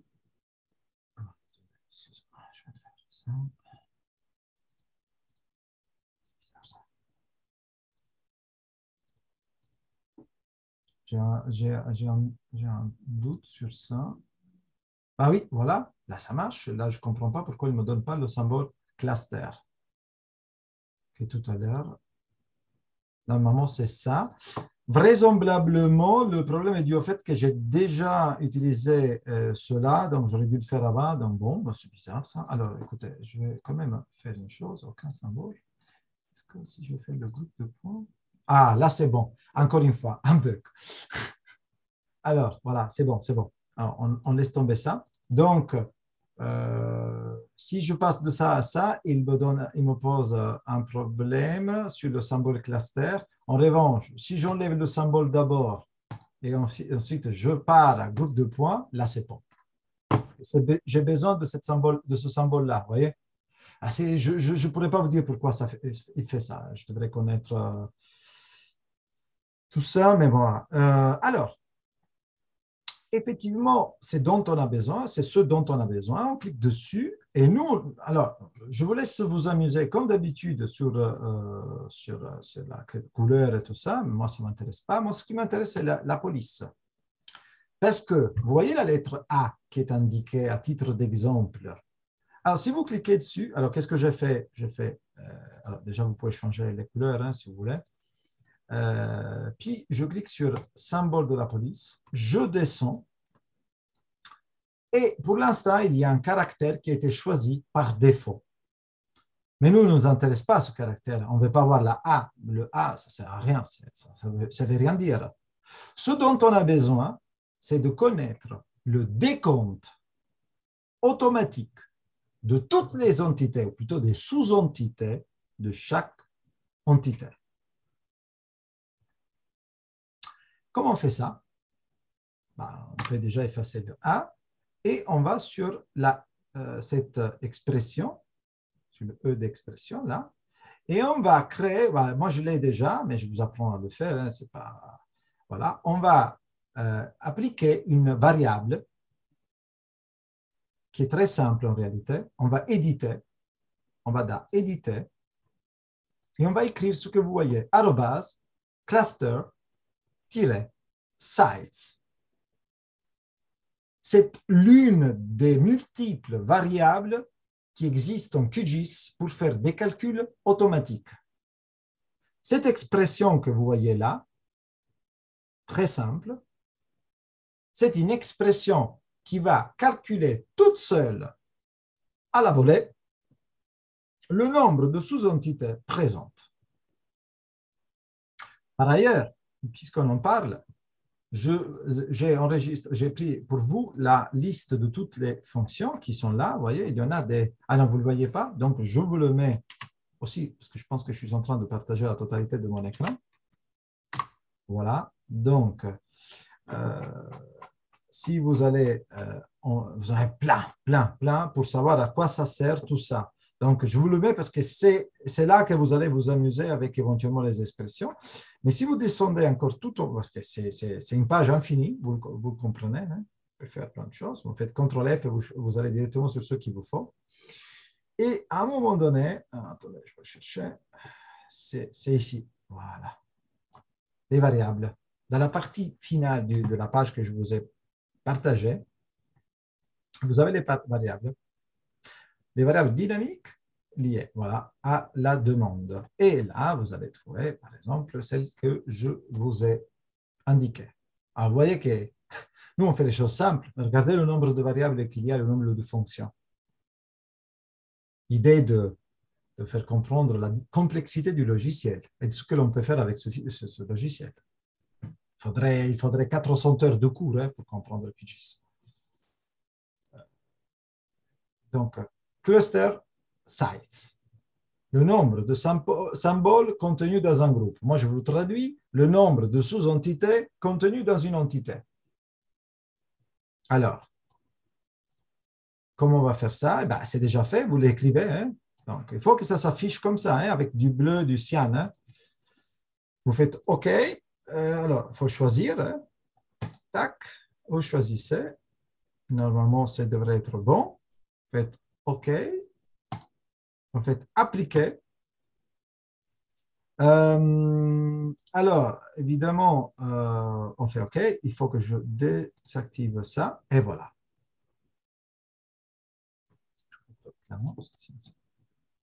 Et je vais partager différemment mon écran parce que sinon vous êtes embêté par votre propre tête. Il y a quelque chose qui est affiché, je ne comprends pas. Oui, il y a d'autres choses qui sont des entités, parce que vraiment, c'est des points où il y, a, un seul point. Oui, c'est ça. Ouais, c'est ça. Là où il y a un seul point, évidemment, il ne met rien. Il devrait mettre un. Et donc, euh, s'il y a, vous voyez, en vert, c'est les points, les, les, entités uniques. Et puis, quand il y en a plusieurs, eh bien, vous voyez à l'intérieur de ce rang le nombre d'entités. Là, vous en avez 11, par exemple. Ah, là aussi, vous pouvez vous amuser avec le paramétrage de la mise en page. Hein. Ensuite, je vais dupliquer à nouveau ça et on va faire la troisième chose. Ah, toujours copier-copier, effectivement. Alors là, on va faire renommer. C'était le euh, point. Là, c'était c'était cluster.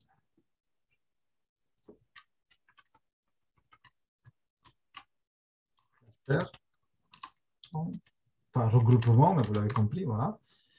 Et là, on va faire une autre chose.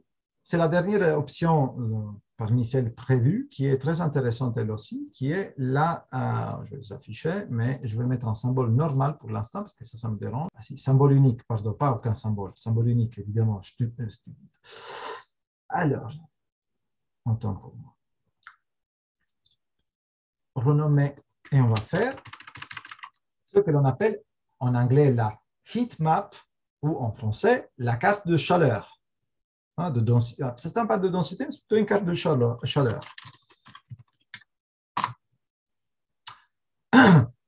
Comment on fait une carte de chaleur Eh bien, on double-clique. Et là, euh, vous avez la carte de chaleur. Ah, il y a deux possibilités. Maintenant, je vais montrer la première, la deuxième, et très rapidement parce que voilà, euh, la deuxième prendrait énormément de temps. Euh, alors, déjà, une carte de chaleur avec le blanc et le noir, ça ne donne pas grand-chose. Mais bon, vous faites comme vous voulez. Puisque le rouge, pour moi, c'est toujours une couleur intéressante. Ou bien vous choisissez une palette de couleurs qui vire vers le rouge, ou bien vous allez là et à la place de cette couleur-là, vous prenez peut-être un peu plus de rouge. Voilà, c'est peut-être mieux hein, que, le rouge proposé par la palette. Hein? Alors, le rayon, on va faire plusieurs tentatives, ne vous inquiétez pas. Euh, le, là aussi, on, va voir plusieurs choses qui peuvent être intéressantes.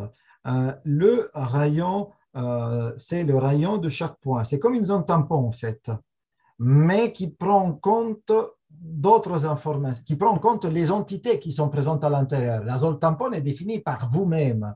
Le rayon est défini par le nombre d'entités et il ne sera pas majeur de 10 mm, chacun de ces points. Alors, là aussi, c'est la qualité du rendu.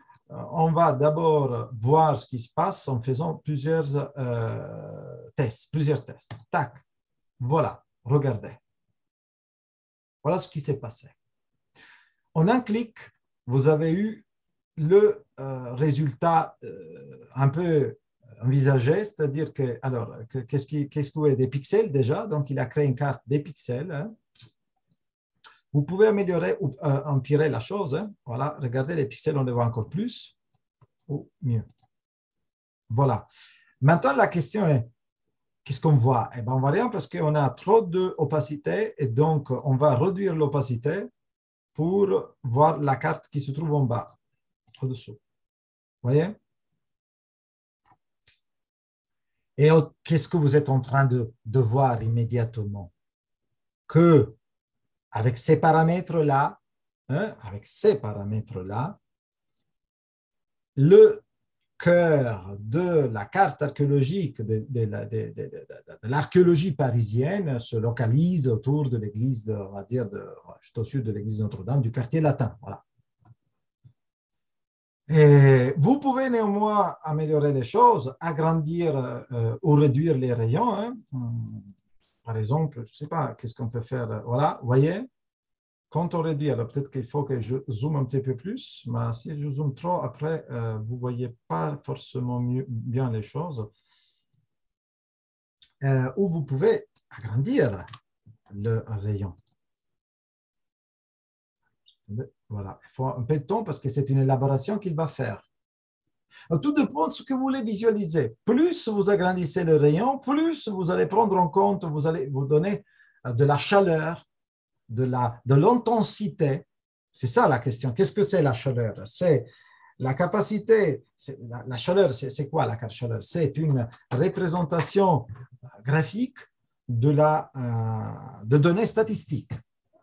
Et euh, en gros, euh, ce qui se passe avec la carte de chaleur, c'est que vous allez faire correspondre euh, avec une, intensité de couleur l'intensité d'un ordre, d'une grandeur, voilà, qui est variable. Donc, vous dites, cette couleur correspondra à telle grandeur. Voilà, donc si j'augmente, eh ben, évidemment, les choses vont changer il va prendre en compte encore plus. Un peu de temps, hein, ça élabore. Hein, ce n'est pas un truc qui, se fait. Voilà, ça prend un peu de temps. Hein, ça, prend, ça, ça, ça, prend beaucoup de mémoire, ce processus de votre ordinateur. Et, et voilà. Très intéressant parce que ça vous permet d'aller tout de suite au cœur du problème. Vous avez tout de suite là quelque chose, une donnée. C'est pas mal, hein après, vous pouvez euh, modifier la valeur. Hein, vous pouvez faire. Alors là, euh, lui, il prend la valeur maximale. Mais si vous commencez à faire cela, à modifier la valeur maximale, regardez ce qui se passe. Si ça se passe. Voilà. par contre, il faut que euh, je fasse OK. Pour donner le temps d'élaborer. Hein. Voilà, regardez. En fait, il a pris en compte la forme de Paris. Hein? Parce que toutes les données sont localisées à l'intérieur du périphérique. Et évidemment, il nous propose quelque chose qui ne sert à rien. Donc attention, et, là, je dois réduire forcément le, le rayon par crayon. Euh, et je commence à, pouvoir. Donc, tout dépend des paramètres que vous allez utiliser. Euh, plus la valeur est importante, on peut mettre 10 ici, hein, et là on peut mettre 1, euh, hein, et on va voir euh, ce que ça donne. Hein. Et voyez, vous agissez sur des valeurs différentes. Vous pouvez également pondérer la chose, les points par rapport à une des étiquettes de votre étiquette, euh, des, des, des, des, champs de votre base de données, de votre table attributaire, parce que ce n'est pas une base de données, c'est une table en réalité. Le problème ici, qu'on ne peut pas le faire parce qu'on n'a pas des valeurs, mais on a des oui, non, oui, non, et on n'obtient pas grand-chose. Si je mets l'antiquité, euh, on ne donne rien et la même chose pour les autres. Donc, il faut là aussi bien penser votre table attributaire. Bon, voilà. Donc, Ici en bas, vous pouvez aussi obtenir des informations intéressantes. Euh, c'est-à-dire que vous pouvez, par exemple, euh, afficher de façon différente les entités ou même la couche. Hein, par exemple, on les remet à 100%. Mais par exemple, on va faire, par exemple, le filtre. Ah, ça, c'est intéressant. Ben, fait pas grand-chose, effectivement, le filtre. parce qu'il y a un problème avec... Voilà, il y a des choses qui se passent, parfois non. Voilà, là, elle a sombrir, vous voyez, j'ai la carte en bas et j'ai, elle m'a fusionné. En fait, qu'est-ce qui se passe ici? Il fusionne la couche, la carte de chaleur avec l'image euh, raster de euh, Bing. C'est ça qui est intéressant. Regardez, vous commencez à voir un peu plus de données, mais parce que j'ai changé les paramètres.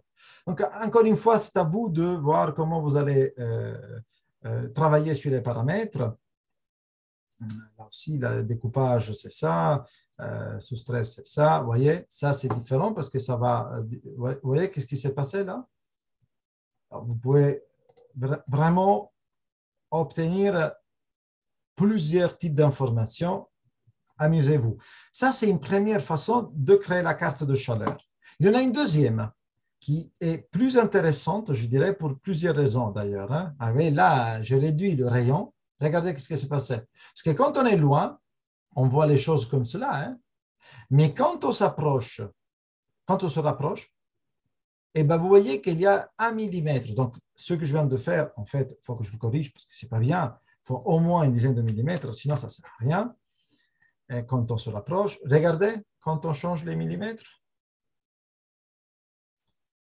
euh, donne si je mets 100.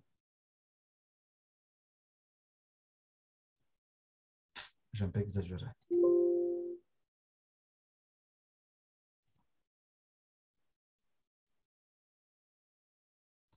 Et oui, vous voyez là, le, problème est qu'avec 100, ça ne donne pas grand-chose. Donc, il faut, voyez, avec 10, 10, ouais, c'est ça et avec la valeur maximale, on laisse comme ça, vide. Voilà, il me donne ça. Voilà. C'est intéressant parce que vous voyez là, vous, avez vous voyez de loin le, la cartographie, la, la, planimétrie de Paris en même temps. Bon, euh, rapprochez-vous pour voir bien les choses, hein, parce que sinon vous n'avez pas grand-chose. C'est une sorte de zone tampon. Voyez bon, il y a une deuxième façon de faire une carte de chaleur qui, à mon sens, est plus intéressante et plus utile. Mais le problème, c'est que ça demande beaucoup de temps. De, alors, euh, pas de temps pour la faire, mais de temps pour l'élaboration des données. Là, est très simple. On va, je vous montre tout de suite, on va dans, euh, attendez, dans, euh, où déjà, dans vecteur, si je ne me trompe pas. non, ce n'est pas ici. Tout, tout, je à chaque fois cette histoire. Donc, attendez un instant. Ah oui. On va dans l'onglet Traitement. On va dans la, boîte à outils. Et quand on fait boîte à outils, et eh ben voilà tout ce que vous pouvez faire avec QGIS en utilisant toutes les fonctions. Et il y en a une en particulier de choses qui nous intéresse, qui est celle-là, l'interpolation. Interpoler, ça veut dire ça, créer à partir de points, de deux points, une nouvelle face, surface, etc. Et donc, si vous double-cliquez sur la carte de chaleur, voilà, une nouvelle fenêtre s'ouvre qui vous demande qu'est-ce que vous voulez faire? Le rayon, cette fois-ci exprimé en mètres, on va pouvoir faire plutôt 10 mètres. Alors, ça, c'est la dimension du raster. Ah, ça, c'est important. c'est les rasters. Alors là, vous allez avoir une image énorme, vous le voyez? Les pixels, réduisez énormément cela, parce que sinon, votre ordinateur, vous l'oubliez pour deux jours. Hein. Je vais mettre 2000, juste un peu au pif, hein, mais c'est juste pour, euh, pour voir euh, la largeur. Et la, hauteur, ça va être 2500, vous voyez les pixels. Hum, alors, il y a plusieurs algorithmes qui vont être appliqués. Par défaut, il vous propose le quadratique. Vous pouvez laisser sur celui-là, mais encore une fois, il faudra que vous allez euh, voilà, tester un peu ce qui se passe. Et puis, voilà, la heatmap, voilà, vous pouvez l'enregistrer dans un fichier à part, si vous voulez. Un fichier qui sera un fichier TIFF, par exemple. Heatmap. je ne sais pas maintenant si ça va marcher parce que ça risque de prendre beaucoup de temps et le temps, il est déjà fini depuis longtemps. Alors, je vais faire exécuter, je ne sais pas ce que ça va donner. En fait, vous comprenez, là, il va vous créer un fichier raster. La même chose de ce que vous voulez faire avec un fichier raster et avec d'autres informations, des algorithmes que vous n'aviez pas avant. Eh bien, il n'a pas pu le faire parce qu'il a eu un problème dans les paramètres probablement euh, de la, euh, du rayon, quelque chose du, pixel. On va voir si en faisant 100 mètres, le rayon, ça marche.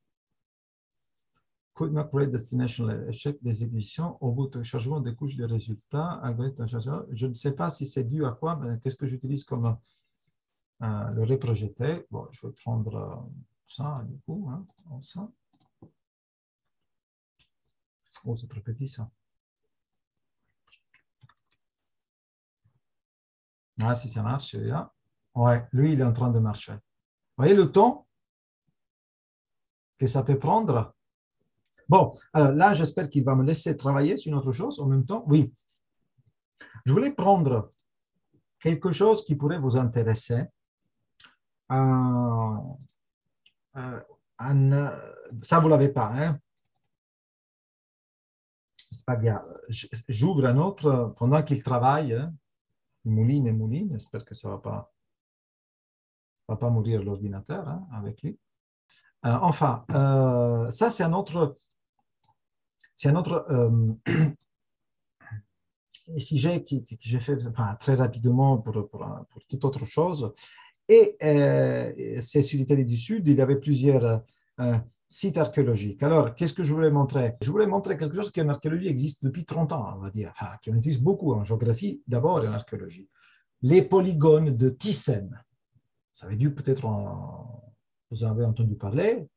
Euh, Thyssen, c'est le nom de, du, météorologue, je ne vais pas dire de bêtises, mais en fait, à la base, ces polygones, on ne les appelle pas les polygones de Thyssen, on les appelle les polygones de Voronoi.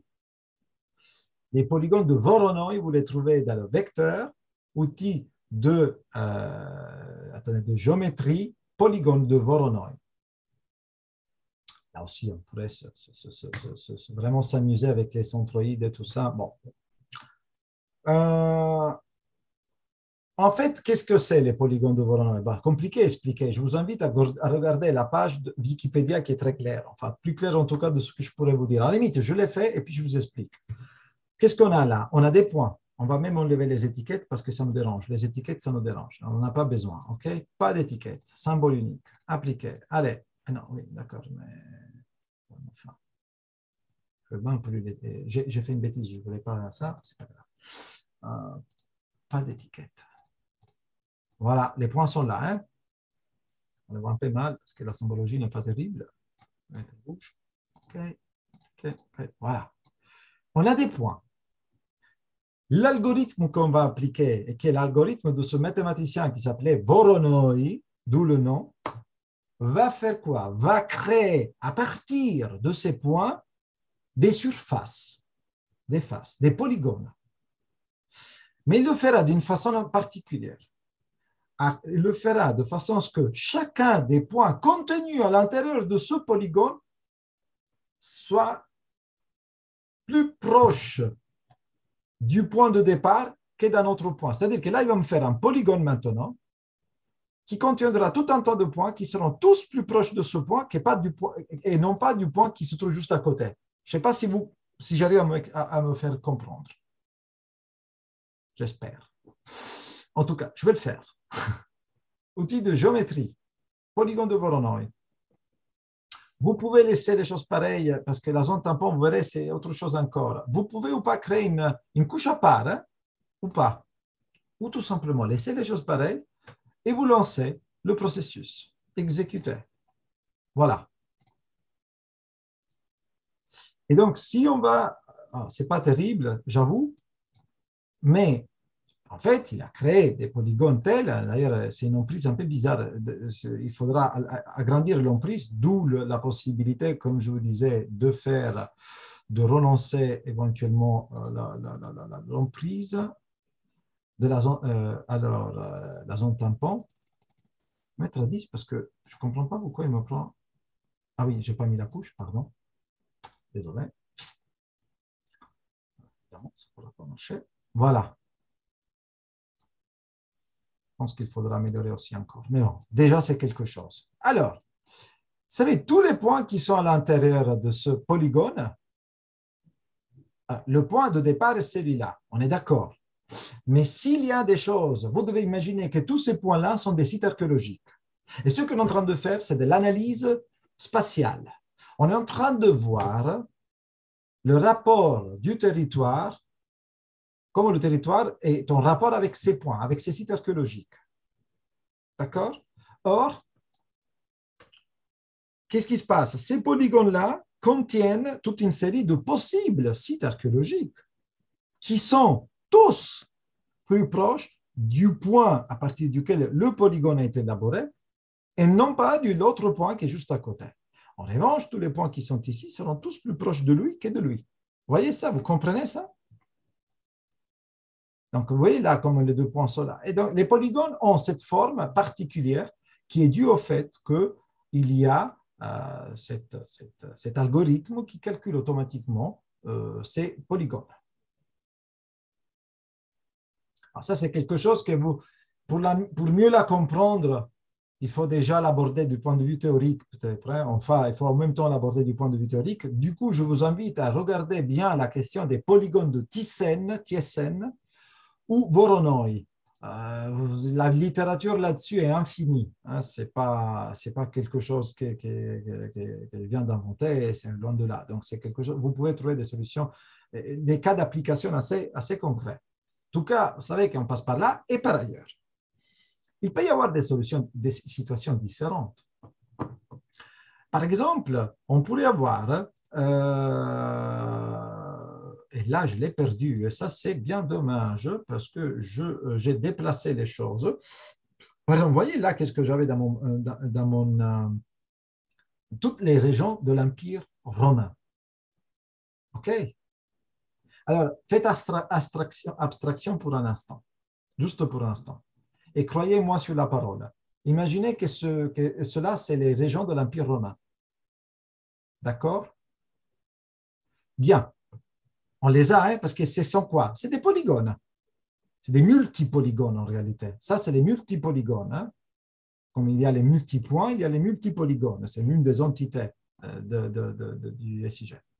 Bien, à partir des multipolygones, je vais faire l'inverse. Je vais récupérer le centre de ces régions, le site central. Donc, je ne parle pas des points, procédé est inverse. Et qu'est-ce que je fais? Encore vecteur, on parle toujours de vecteur, donc il faut aller sur vecteur, outil de géométrie, et cette fois-ci, je vais choisir les centroïdes. Le centroïde, vous voyez, ce n'est pas le centre. Le centroïde, comme dit le mot lui-même, est quelque chose qui est au centre de quelque chose qui n'est pas un cercle d'une surface irrégulière. Le barycentre, et on peut le faire à partir de cette couche que j'ai créée, qui s'appelle les polygones de Voronoi, parce que moi j'ai créé une couche, hein, ne l'oubliez pas. Voilà. Euh, pour chaque partie, oui. Euh, oui, je pourrais le faire, évidemment, et je fais exécuter. Voilà.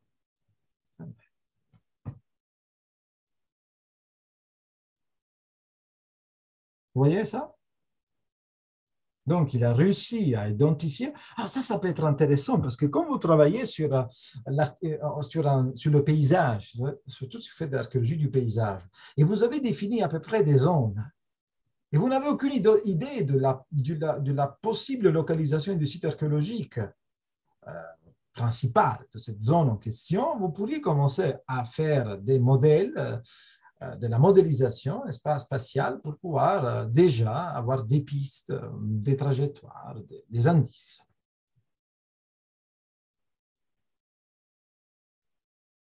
C'est bon? Bon, je sais que vous êtes fatigué, j'arrête là. Donc, dernière chose, on avait dit là, comment faire la mise en page. Alors, on va afficher quelques sites plus jolis on va lui mettre une étiquette, parce que sinon on perd tout là et on ne voit rien, ça ne s'apprécie même pas. Hein. Tac, juste pour le faire vite. On va, qu'est-ce qu'on a comme données? Je ne sais plus qu'est-ce qui est, parce que j'ai tout perdu, hein, évidemment, parce que j'ai déplacé, comme d'habitude, ouais, la, la, bêtise de déplacer les choses. Hein. Tout, est activé, mais rien ne marche. Euh, est-ce que c'est une bonne idée de faire ça? Peut-être que je vais prendre un autre sujet que j'ai euh, trouvé Oui ne pas tenir compte. Euh, je vais prendre, euh, j'avais fait quelque chose où il y avait, voilà.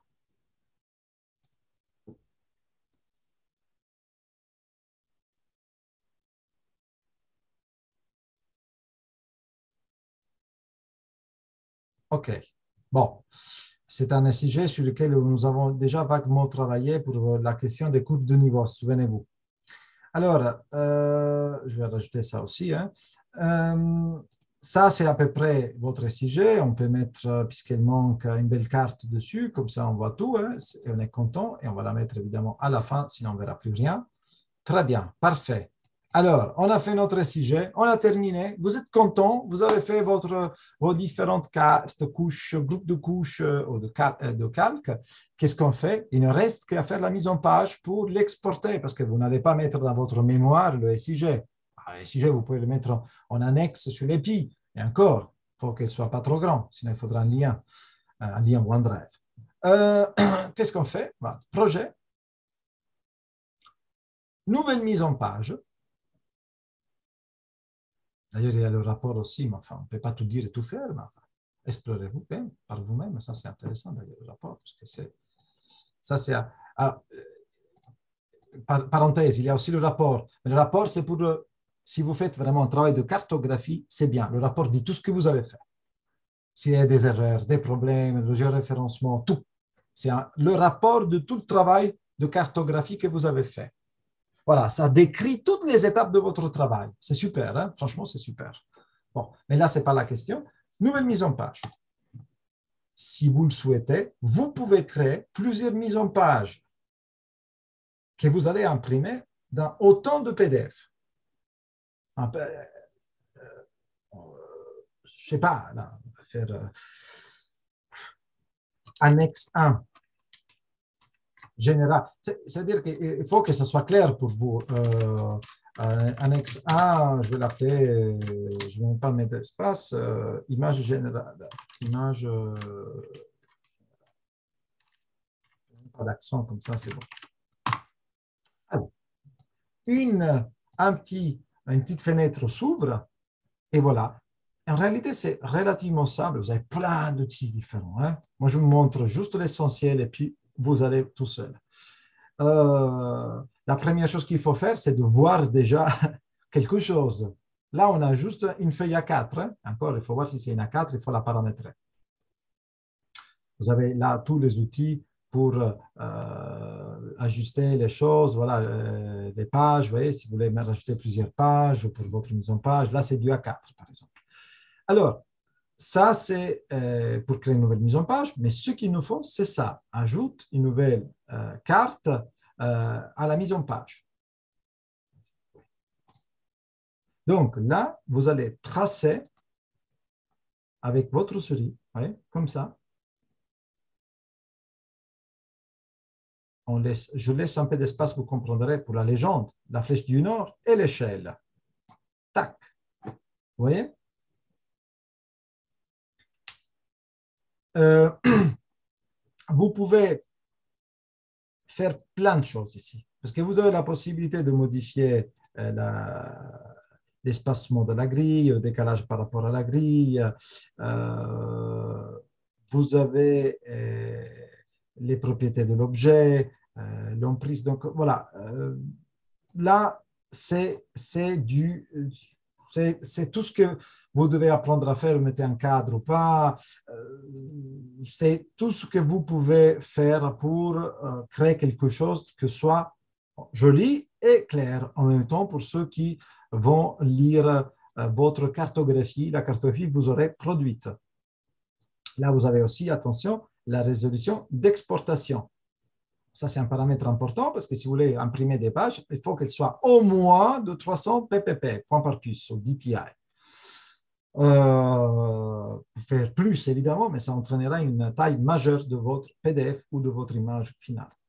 Ensuite, ce que vous allez devoir, donc là, vous pouvez euh, réduire, euh, vous voyez, vous pouvez faire ce que vous voulez.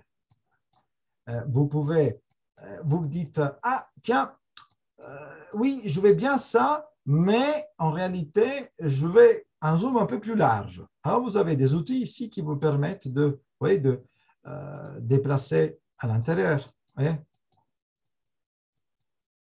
Ça, c'est important. Ou encore, avec le scroll, vous dézoomez et zoomez. D'accord? Parce que, par exemple, vous dites, dans cette carte, vous ne voulez pas la totalité de cette acropole, mais je, vais faire juste un, euh, un, euh, je sais pas, un zoom sur ça. Par ailleurs, vous pouvez également ajouter une nouvelle carte. C'est-à-dire que là, vous allez vous mettre ici, je sais pas, et vous faites une carte générale avec ceci, n'est-ce pas hein, Avec une, euh, un agrandissement. Hein. Alors, vous allez euh, jouer sur le zoom, là aussi, hein non plus. Et puisque, bon, vous avez besoin quoi? D'une flèche, par exemple, vous allez mettre une petite flèche qui pourrait indiquer, par exemple, euh, qu'on est bien là à peu près. Hein. Je fais vraiment à la va-vite. Oups. Voilà. Clic droit de la souris pour, comme d'habitude, pour euh, pouvoir euh, donner la commande, finir la commande, clore la commande. Qu'est-ce qu'il manque? Plein de choses. Mais on va dire que pour faire une carte, il manque trois choses. Il manque l'échelle, le nord. Allez, commençons par le nord. Il est là. Alors, vous allez faire plus ou moins joli. Alors, vous pouvez le réduire, vous pouvez le coller, vous avez tout, vous, vous sélectionnez, vous voyez, vous avez les calques qui s'affichent ici à droite, donc après, vous allez pouvoir travailler sur ça. Hein. Et euh, qu'est-ce qu'il manque? Euh, Ce n'est pas un super nord, euh, ce n'est pas terrible, mais enfin, voilà, il est là. Euh, limite, euh, vous le mettez ailleurs, euh, limite, on fait une chose plus sérieuse. Voilà. Puis, qu'est-ce qu'il manque? L'échelle. Là aussi, hein, vous pouvez faire une échelle absolument personnalisée. Hein. voilà, vous pouvez, sur la barre d'échelle, vous pouvez faire ce que vous voulez. vous avez tous les, toutes les, tous les paramètres à modifier si vous le souhaitez. Voilà. Il est là barre d'échelle, vous pouvez utiliser le mètre, kilomètre, etc. Vous pouvez euh, augmenter, regardez qu'est-ce qui se passe? Voilà. Faites ce que vous voulez, amusez-vous. Vous pouvez augmenter la taille de, de, ça, euh, de l'échelle, de des segments, vous voyez, vous pouvez mettre plusieurs segments. regardez. Voilà. Donc, tout est possible. Évidemment, si je devais montrer ça, il faudrait un cours juste pour ça. Et ce n'est pas le but. Euh, et puis, il y a la légende. que Souvent, on a tendance, à, on a la tendance parfois à oublier, pas souvent. Hein. c'est quoi le problème? C'est que dans la légende, évidemment, qu'est-ce qu'il va faire? Eh ben, C'est super, c'est ça qui est intéressant d'AQGIS, c'est qu'il vous propose automatiquement toutes les couches, tous les calques que vous avez utilisés. Mais bien entendu, vous n'êtes pas obligé de les utiliser tous. Donc, vous pouvez désactiver les choses qui ne vous intéressent pas. Donc, si euh, il y a euh, des choses que vous ne voulez pas afficher, vous pouvez les, euh, les décocher.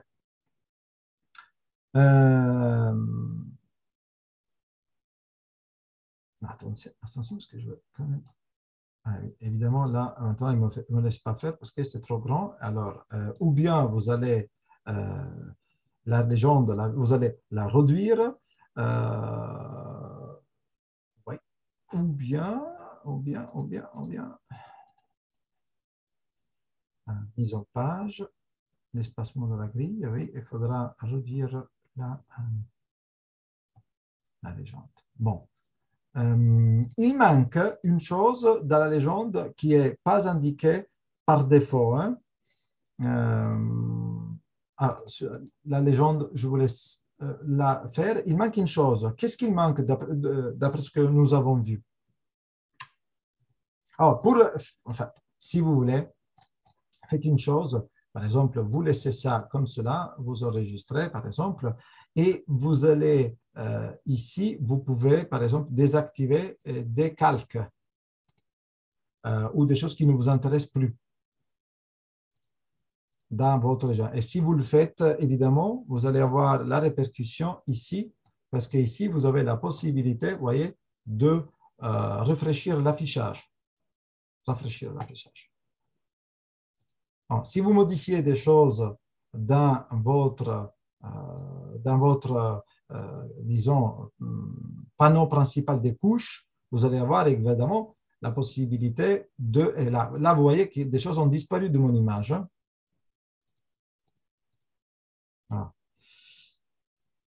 Pas ce que je voulais, en réalité, elle a disparu. Mais bon, pas, tant pis. Euh,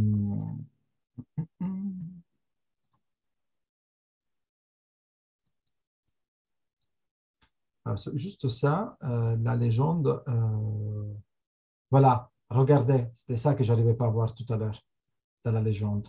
En bas, nous montrer que les entités qui sont présentes à l'intérieur de la carte. Vous voyez? Je ne trouvais pas ça tout à l'heure. Ou de montrer que les entités euh, de l'entité. Dans notre cas, c'est mieux ça, voyez c'est les entités dont il est question dans la carte. Pourquoi les afficher toutes en réalité? Moi, ça m'affiche. Alors, il manque une chose que vous devez rajouter, s'il vous plaît. Je vous donne avec tout mon cœur, c'est de faire une zone de texte. Et vous allez dire par qui a été élaboré. Hein? Donc, vous écrivez dedans, hein? vous écrivez ici.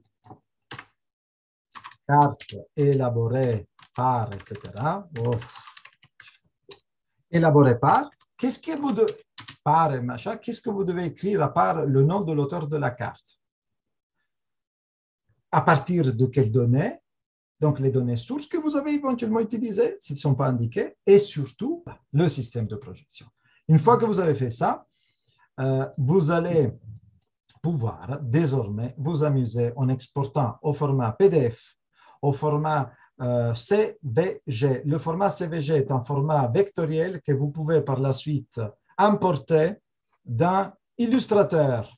Alors là, c'est bon, illustrateur pour le coup, parce que là, vous pouvez améliorer la qualité de l'image, la rendre plus jolie, faites ce que vous voulez. D'accord? Et sinon, vous l'exportez tout simplement comme image raster, JPEG, PNG, TIFF et compagnie. Tout simplement, vous allez euh, l'imprimer. Évidemment, n'oubliez pas d'enregistrer la, la, mise en page si par hasard vous souhaitez y revenir vous pouvez à tout moment revenir. Alors, je vais le faire, de toute façon, ce n'est pas grave. Je registre, je la ferme, je ferme mon SIG. Demain, je me réveille, je vais imprimer ma page parce que je dis j'ai plus envie de le faire. Ben, je vais sur projet et je vais sur la gestion, les mises en page. Elles sont là, vous voyez Et donc, dès que je clique dessus, je retrouve ma mise en page. Je peux l'imprimer. Vous libère. Et je vous remercie pour la patience et la, bonne volonté dont vous avez fait preuve. Vous comme les autres qui nous écouteront en asynchrone. Voilà.